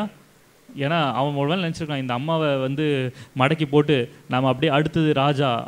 ஏன்னா போத்திபான்றது வந்து அந்த ரா- அந்த ஹையர் ரேங்க்ல இருக்கவங்க தானே. அவர் மூலமாக அந்த மந்திரியை பார்த்து அந்த ராஜா அந்த மினிஸ்டரை பார்த்து அப்படியே நைஸாக டேரெக்ட் எங்கே போயிடலாம்? ராஜாட்ட போயிடலாம் அப்படின்னு சொல்லி அவன் வந்து இப்படி ஷார்ட் கட்டுக்கு என்ன பண்ணல? அவன் தன்னுடைய வாழ்க்கையை அவன் அனுபவிக்க அவன் ஒப்பு கொடுக்கல அதுக்கு பதிலாக கத்தருடைய வார்த்தை தன்னை புடமிடும்படியாக ஒப்பு கொடுத்தான் லூயா இன்றைக்கி நான் சொல்கிறேன் ஒருவேளை உங்கள் வாழ்க்கையில் நீங்கள் இழந்து போன காரியத்தை நிமித்தமாக நீங்கள் ப பட்டு கொண்டிருக்கிற பாடுகள் நிமித்தமாக ஒரு நாள் ஷார்ட் கட் என்ன பண்ணாதீங்க?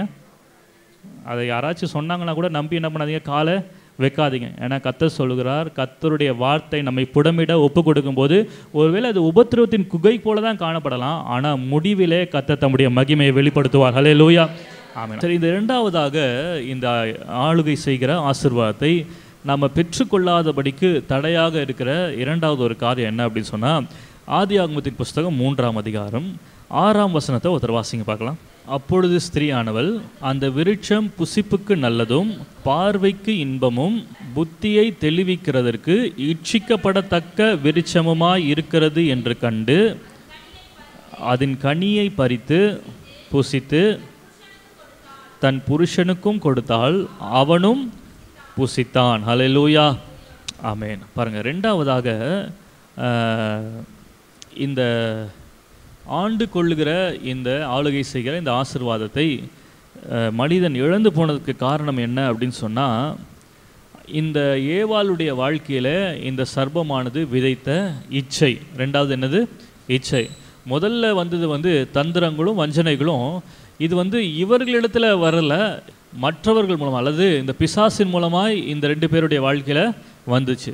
ஆனால் இந்த இச்சை என்பது இவர்களுடைய உள்ளத்திற்குள்ளே ஏதோ கேட்கக்கூடாத காரியத்தை கேட்டு தவறானபடி புரிந்து கொண்டது நிமித்தமாய் இவர்களுக்குள்ளே இவர்களாகவே உண்டாக்கி கொண்டது என்ன அப்படி சொன்னால் இச்சை. ஹalleluya வசனம் சொல்கிறது பார்வைக்கு இன்பமும் புத்தியை தெளிவிக்கிறதற்கு இச்சிக்கப்படத்தக்க விருட்சமுமாய் இருக்கிறது என்று சொல்லி என்ன பண்ணலாம்? கண்டால். ஹalleluya அவன் பிசாசானவன் எங்கள் ஜனங்களை வந்து அட்டாக் பண்ணுவான் அப்படின்னு சொன்னால் முதலாவது எங்கே அட்டாக் பண்ணுவான்னா நம்முடைய மைண்டில் எங்கே? நம்மளுடைய மைண்டில் நம்முடைய சிந்தனைகளில். நம்முடைய எண்ணங்களில் தான் பிசாசுக்கு பிசாசால் நம்முடைய எண்ணங்களை மாத்திரம் தொட முடியும். மற்ற எந்த விதத்திலையும் பிசாசானவன் நம்மை தொடுகிறதற்கு தேவன் அதிகாரத்தை கொடுக்கவே இல்லை. இன்னும் சொல்லப்போனால் போனால் நான் சொல்கிறது போல் நம்ம எப்படிப்பட்ட மனிதர்களாக இருக்கிறோம் அப்படி சொன்னால் ஆவி ஆவிக்குரிய மனிதர்களாக என்ன பண்ணுறோம் இருக்கிறோம். நாம் ஆராதிக்கிற தேவனும் எப்படிப்பட்டவர்? ஆவியாக இருக்கிறார். அதே வேளையில் நம்ம பிசாசு சத்ரு சாத்தான்னு சொல்கிற அவனும் எப்படி தான் இருக்கிறான்? அவனும் எப்படி தான் இருக்கிறான்? ஆவியாக தான் இருக்கிறான்.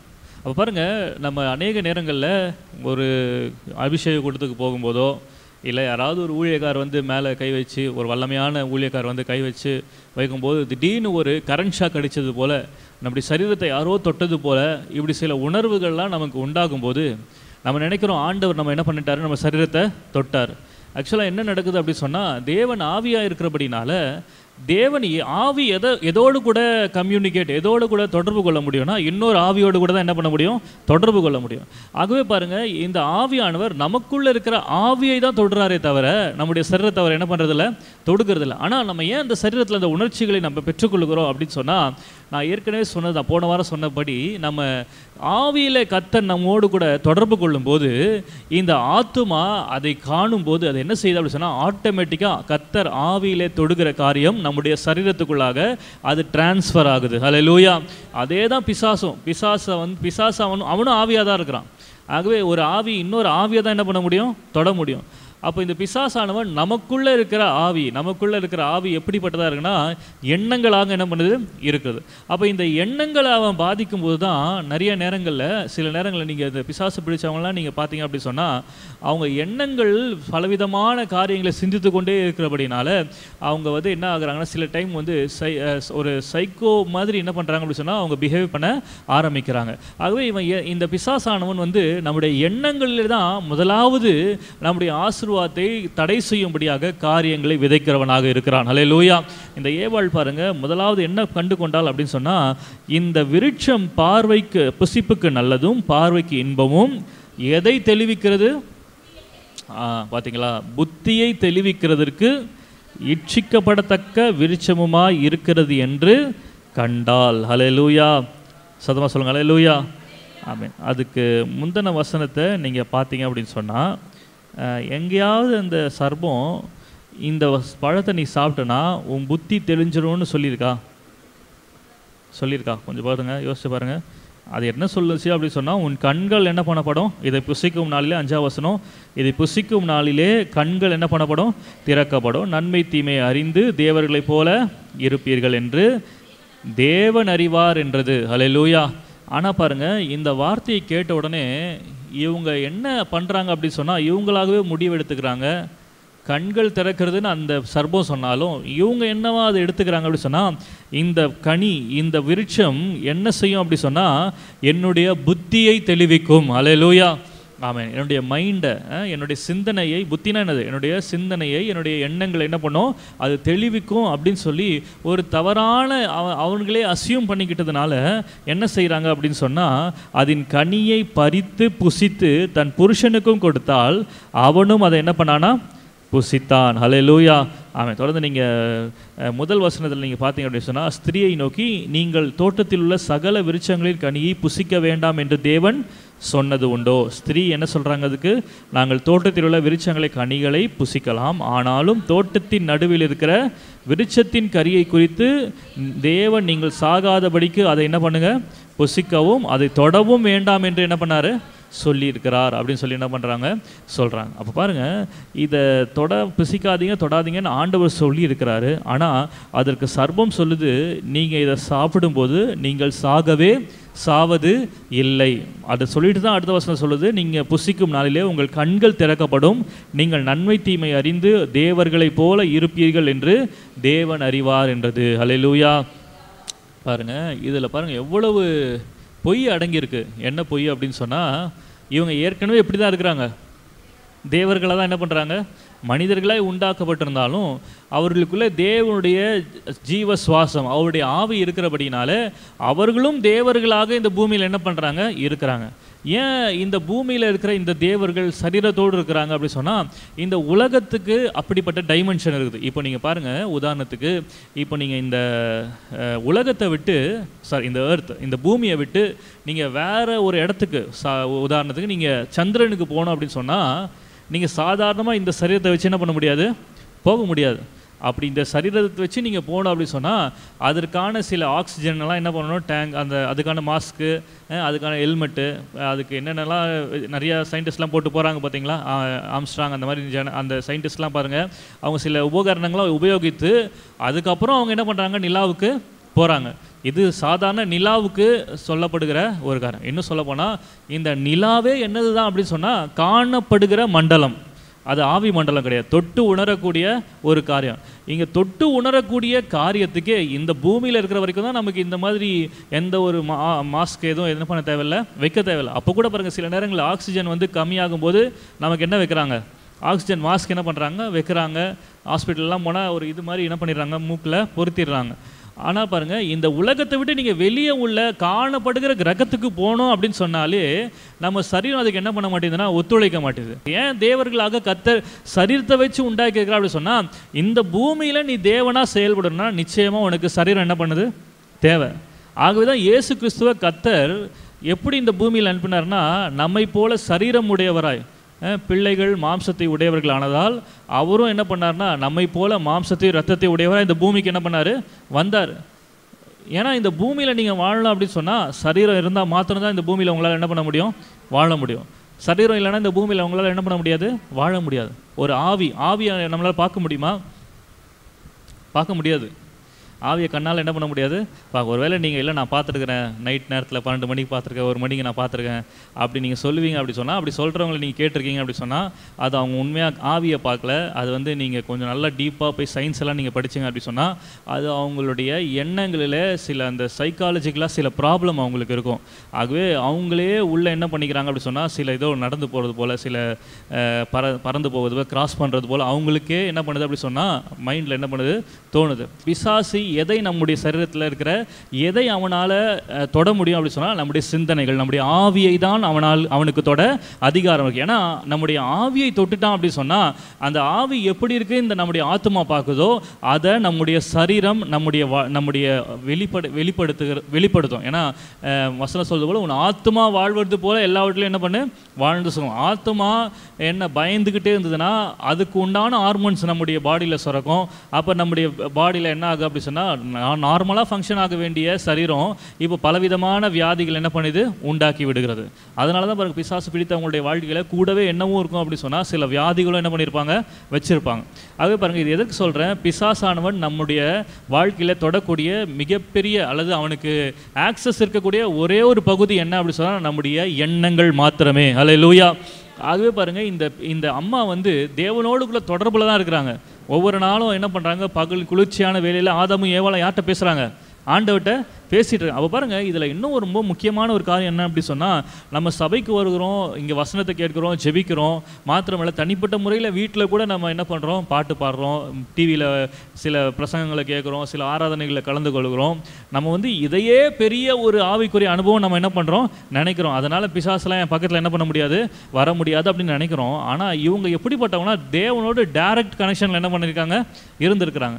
அப்போ வந்து நம்ம நம்ம நம்மளுடைய வாழ்க்கையும் அவங்களுடைய வாழ்க்கையை எடுத்து பார்த்தா பல ஆயிரம் மடங்கு வந்து அவங்க ஆவிக்குரிய வாழ்க்கை ஹையஸ்ட் லெவலில் இருந்திருக்கு. ஆனால் அப்படிப்பட்ட ஒரு ஹையஸ்ட் லெவலான வாழ்க்கையை வாழ்ந்தவங்களாலேயே பிசாசானவனால ஈஸியாக அவங்க சிந்தனையை தொட முடியும். அப்படி சொன்னால் நம்மளுடைய சிந்தனையை எவ்வளவு எளிதாக அவனால் என்ன பண்ண முடியும்? தொட முடியும். அதுவே பாருங்கள் நான் பிசாசு அப்படின்னு சொல்கிறதுனால நீங்கள் உடனே அந்த வந்து நீங்கள் ஒரு பெரிய ஒரு பூதம் மாதிரியோ ஒரு ஆவி மாதிரியோ கருப்பா வெள்ளையா அப்படிலாம் நம்ம யோசிக்கக்கூடாது. பிசாசு ஆவி இது இதெல்லாம் சத்ரு சாத்தான்லாம் என்ன சொல்கிறான்னா இப்போ நம்ம கிறிஸ்துனா என்னன்னு சொல்கிறோம் மகிமை நம்பிக்கை. அப்படின்னா என்ன காலைல என்ன சொன்னேன்? கிறிஸ்துனா பாசிட்டிவ் இமேஜினேஷன் அப்போ பிசாசுனா என்னவா இருக்கும்? நெகட்டிவ் இமேஜினேஷன் எப்போல்லாம் நீங்கள் எதிர்மறையாக யோசிக்கிறீங்களோ அப்போல்லாம் பிசாசுக்கு உங்களுடைய வாழ்க்கையில் இடம் கொடுக்குறீங்கன்னு அர்த்தம். ஹலோ லூயா பிசாசு வந்து நான் ரொம்ப வந்து என்ன சொல்கிறது சத்தம் போட்டுட்டு அப்படிலாம் என்ன பண்ண மாட்டான்? வர மாட்டான். அவன் வர்றதே நமக்கு என்ன பண்ணாது? தெரியாது. ச- பாம்பு நவ் இது உள்ளே வரும்போது பார்த்துருக்கீங்களா? என்ன சவுண்டு கேட்குமா அதுவாக வாயில் சவுண்டு விட்டால் தான் என்ன பண்ணும்? கேட்கும். மற்றபடி அது நடந்து வரும்போதெல்லாம் எந்த ஒரு சவுண்டு என்ன பண்ணாது?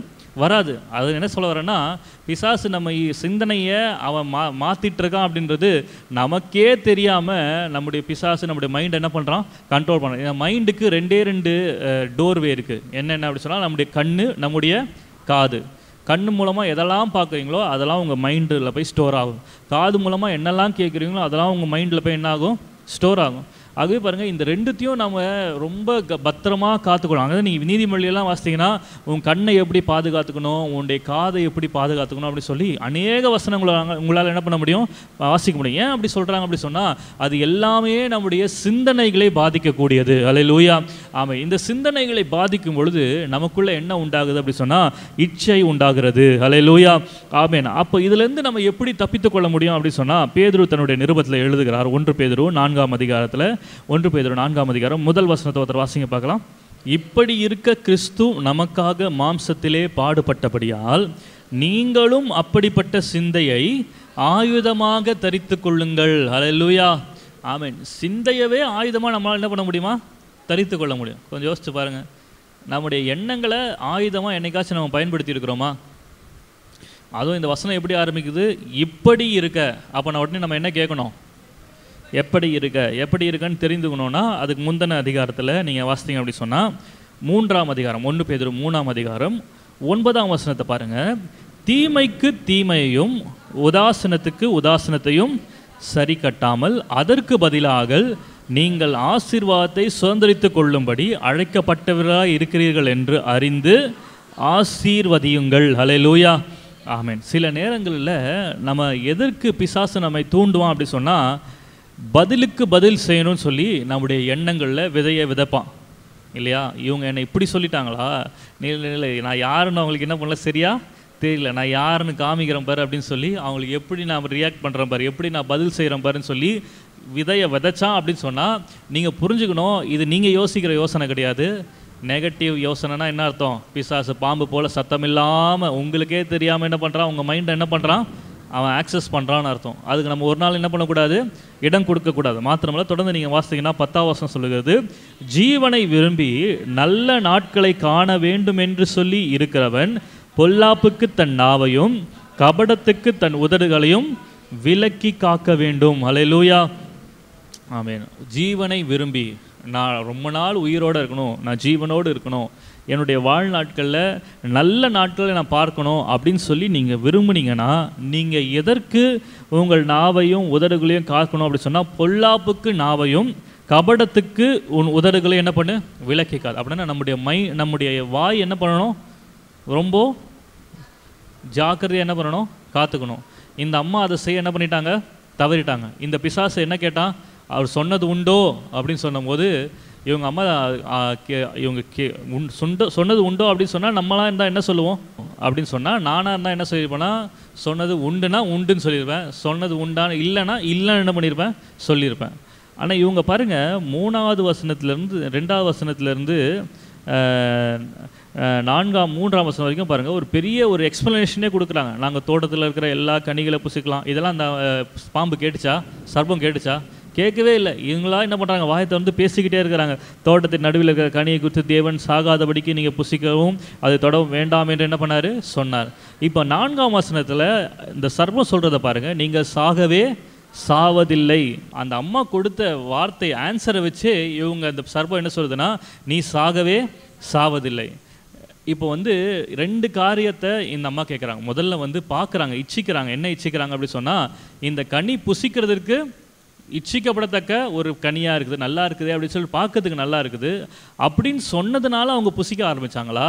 நீங்கள் சாகவே சாவதில்லைன்னு சொல்லி ஒரு அஷ்யூரிட்டி கொடுத்த உடனே அஷூரன்ஸ் கொடுத்த உடனே இவங்க சாப்பிட ஆரம்பிக்கிறாங்களா? சாகவே சாவதில்லைன்னு சொன்ன உடனே தான் அவங்க என்ன பண்ணுறாங்க புசிக்க ஆரம்பம் ஆனால் இந்த சாகவே சாவதில்லைன்ற வார்த்தை இந்த அம்மா வாயிலேருந்து இந்த பிசாசு என்ன பண்ணால் எடுத்தான்.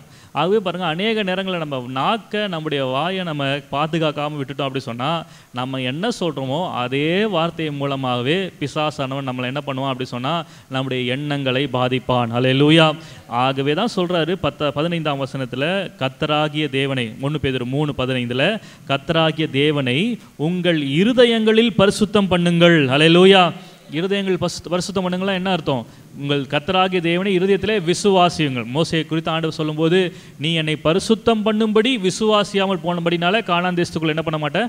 போக மாட்டேன். என்னை இருதயத்திலே பரிசுத்தப்படுத்துங்களா என்ன அர்த்தம்னா இருதயத்திலே விசுவாசியுங்கள். விசுவாசியில் நேர்மறையான எண்ணங்களை உடையவர்களாய் இருங்கள். அப்படி நீங்கள் செய்யும் பொழுது பதினாறாம் வசனத்தில் வாசிக்கிறோம் உங்களை அக்கிரமக்காரர் என்று உங்களுக்கு விரோதமாய் சொல்லுகிற விஷயத்தில் வெட்கப்படும்படிக்கு நல்மன சாட்சி உடையவர்களாய் இருங்கள். அப்படி சொல்லிட்டு தீமை செய்து பாடு அனுபவிப்பதிலும் தேவனுக்கு சித்தமானால் நன்மை செய்து பாடு அனுபவிப்பதே மேன்மையா இருக்கும் அப்படி சொல்லிட்டு பதினெட்டாம் வருஷத்தில் வாசிக்கிறோம். ஏனெனில் கிறிஸ்துவும் நம்மை தேவனிடத்தில் சேர்க்கும்படி அநீதி உள்ளவர்களுக்கு பதிலாக நீதி உள்ளவராய் பாவங்களின் நிமித்தம் ஒரு தரம் பாடுபட்டார். அவர் மாம்சத்திலே கொலை உண்டு ஆவியிலே உயிர்ப்பிக்கப்பட்டார். ஹalleluya சதமாசம் சொன்ன ஹalleluya பாருங்க இந்த தேவன் எதுல உயிர்ப்பிக்கப்பட்டார் அப்படி சொன்னா ஆவியிலே உயிர்ப்பிக்கப்பட்டார் வசனம் சொல்லுது மாம்ச சிந்தை மரணம் ஆவியின் சிந்தையோ ஜீவனும் சமாதானமுமா அப்போ இயேசு கிறிஸ்துவே இந்த பூமியில் வாழ்ந்தபோது அவர் ஆவியிலே உயிர்ப்பிக்கப்பட வேண்டியது அவசியமாக இருந்தது எப்படி உயிர்ப்பிக்கப்பட்டார் அப்படி சொன்னால் சில இடங்களில் சத்தமிடாது இருக்கிற மயிர் கத்திருக்கும்போது சத்தமிடாது இருக்கிற ஆட்டை போல் வாய் என்ன பண்ணிட்டாரு? திறக்காமல் வாயை மூடிட்டு என்ன பண்ணார்? நீ கொட்டுறியா கொட்டு துப்புறியா துப்பு. ஆனால் நான் வாய் தந்து எதுவும் என்ன பண்ண மாட்டேன்? சொல்ல மாட்டேன். மேக்சிமம் என்னால் என்ன சொல்ல முடியும்னா பிதாவே இவர்களை மன்னியும். தாங்கள் செய்கிறது என்னதென்று அறியாது இருக்கிறார்கள் அப்படின்னு சொல்லி அதற்கு மாத்திரம் தான் வாயை திறந்தாரே தவிர மற்றபடி அவங்கள சபிக்கிறதுக்கோ அவங்க செஞ்சதுக்கு திரும்ப செய்யணும்னு சொல்லி பேசுறதுக்கோ கத்தர் ஒரு நாள் வாயை என்ன பண்ணல? திறக்கலை. இதெல்லாம் இந்த மாதிரி காரியங்கள்லாம் பிசாசு ஏன் கொண்டு வரான் அப்படின்னு சொன்னால் நம்ம அப்படி வாயை மூடிக்கிட்டு இருந்துட்டோம் அப்படின்னு சொன்னால் அந்த ஆசீர்வாதத்தை ஆளுகிறவர்களாக நம்ம ஆளுகிறவர்களாக நம்ம என்ன பண்ணிடுறோம்? மாறி விடுகிறோம் ஹலே லூயா ஆமேன். ஆகவே பாருங்கள் பிசாசு அதுக்கு நம்ம இடம் கொடுக்காதபடிக்கு இ- இந்த மாலை வேலை கத்த நம்மோடு கூட பேசினபடியே நம்ம என்ன செய்யணும்? இந்த இச்சைக்கு விலகி ஓட நம்ம என்ன செய்யணும் அப்படின்னு சொன்னால் நம்முடைய எண்ணங்களை நம்ம என்ன பண்ண வேண்டும்? பாதுகாத்து கொள்ள வேண்டும். ஒன்று பேர் நான்கு ஒன்றில் வாசிக்கிறது போல கிறிஸ்து நமக்காக மாம்சத்திலே பாடுபட்டபடியால் அப்படிப்பட்ட சிந்தையை நீங்கள் என்ன பண்ணுங்கள் ஆயுதமாக தரித்து கொள்ளுங்கள். லூயா நம்முடைய சிந்தனையிலே பரிசுத்தம் காணப்படட்டும். நம்முடைய சிந்தனைகளிலே நேர்மறையான எண்ணங்கள் காணப்படட்டும். ஒரு நாள் எது- எதிர்மறையான எண்ணங்களுக்கு நம்ம நம்மை ஒப்பு கொடுக்காதபடிக்கு பாதுகாத்து கொள்வோம் என்று சொன்னால் அன்றைக்கு கத்தர் ஆம்- ஆதாமையும் ஏவாளையும் எப்படி எல்லாவற்றையும் ஆளுகை செய்கிற ஆசீர்வாதத்துக்குள்ளே அவர்களை ஒப்பு கொடுத்தாரோ அதுபோல் நம்மையும் வழிநடத்த கத்தர் போதுமானவராக இருக்கிறார். லூயா ஆகவே இந்த மாலை வேலை நாம் கேட்ட வார்த்தைக்கு நம்மை அர்ப்பணித்தவர்களாக நம்ம எல்லாரும் இருக்கிற இடங்களில் கண்களை மூடி ஆண்டவரை நோக்கி பார்ப்போம்.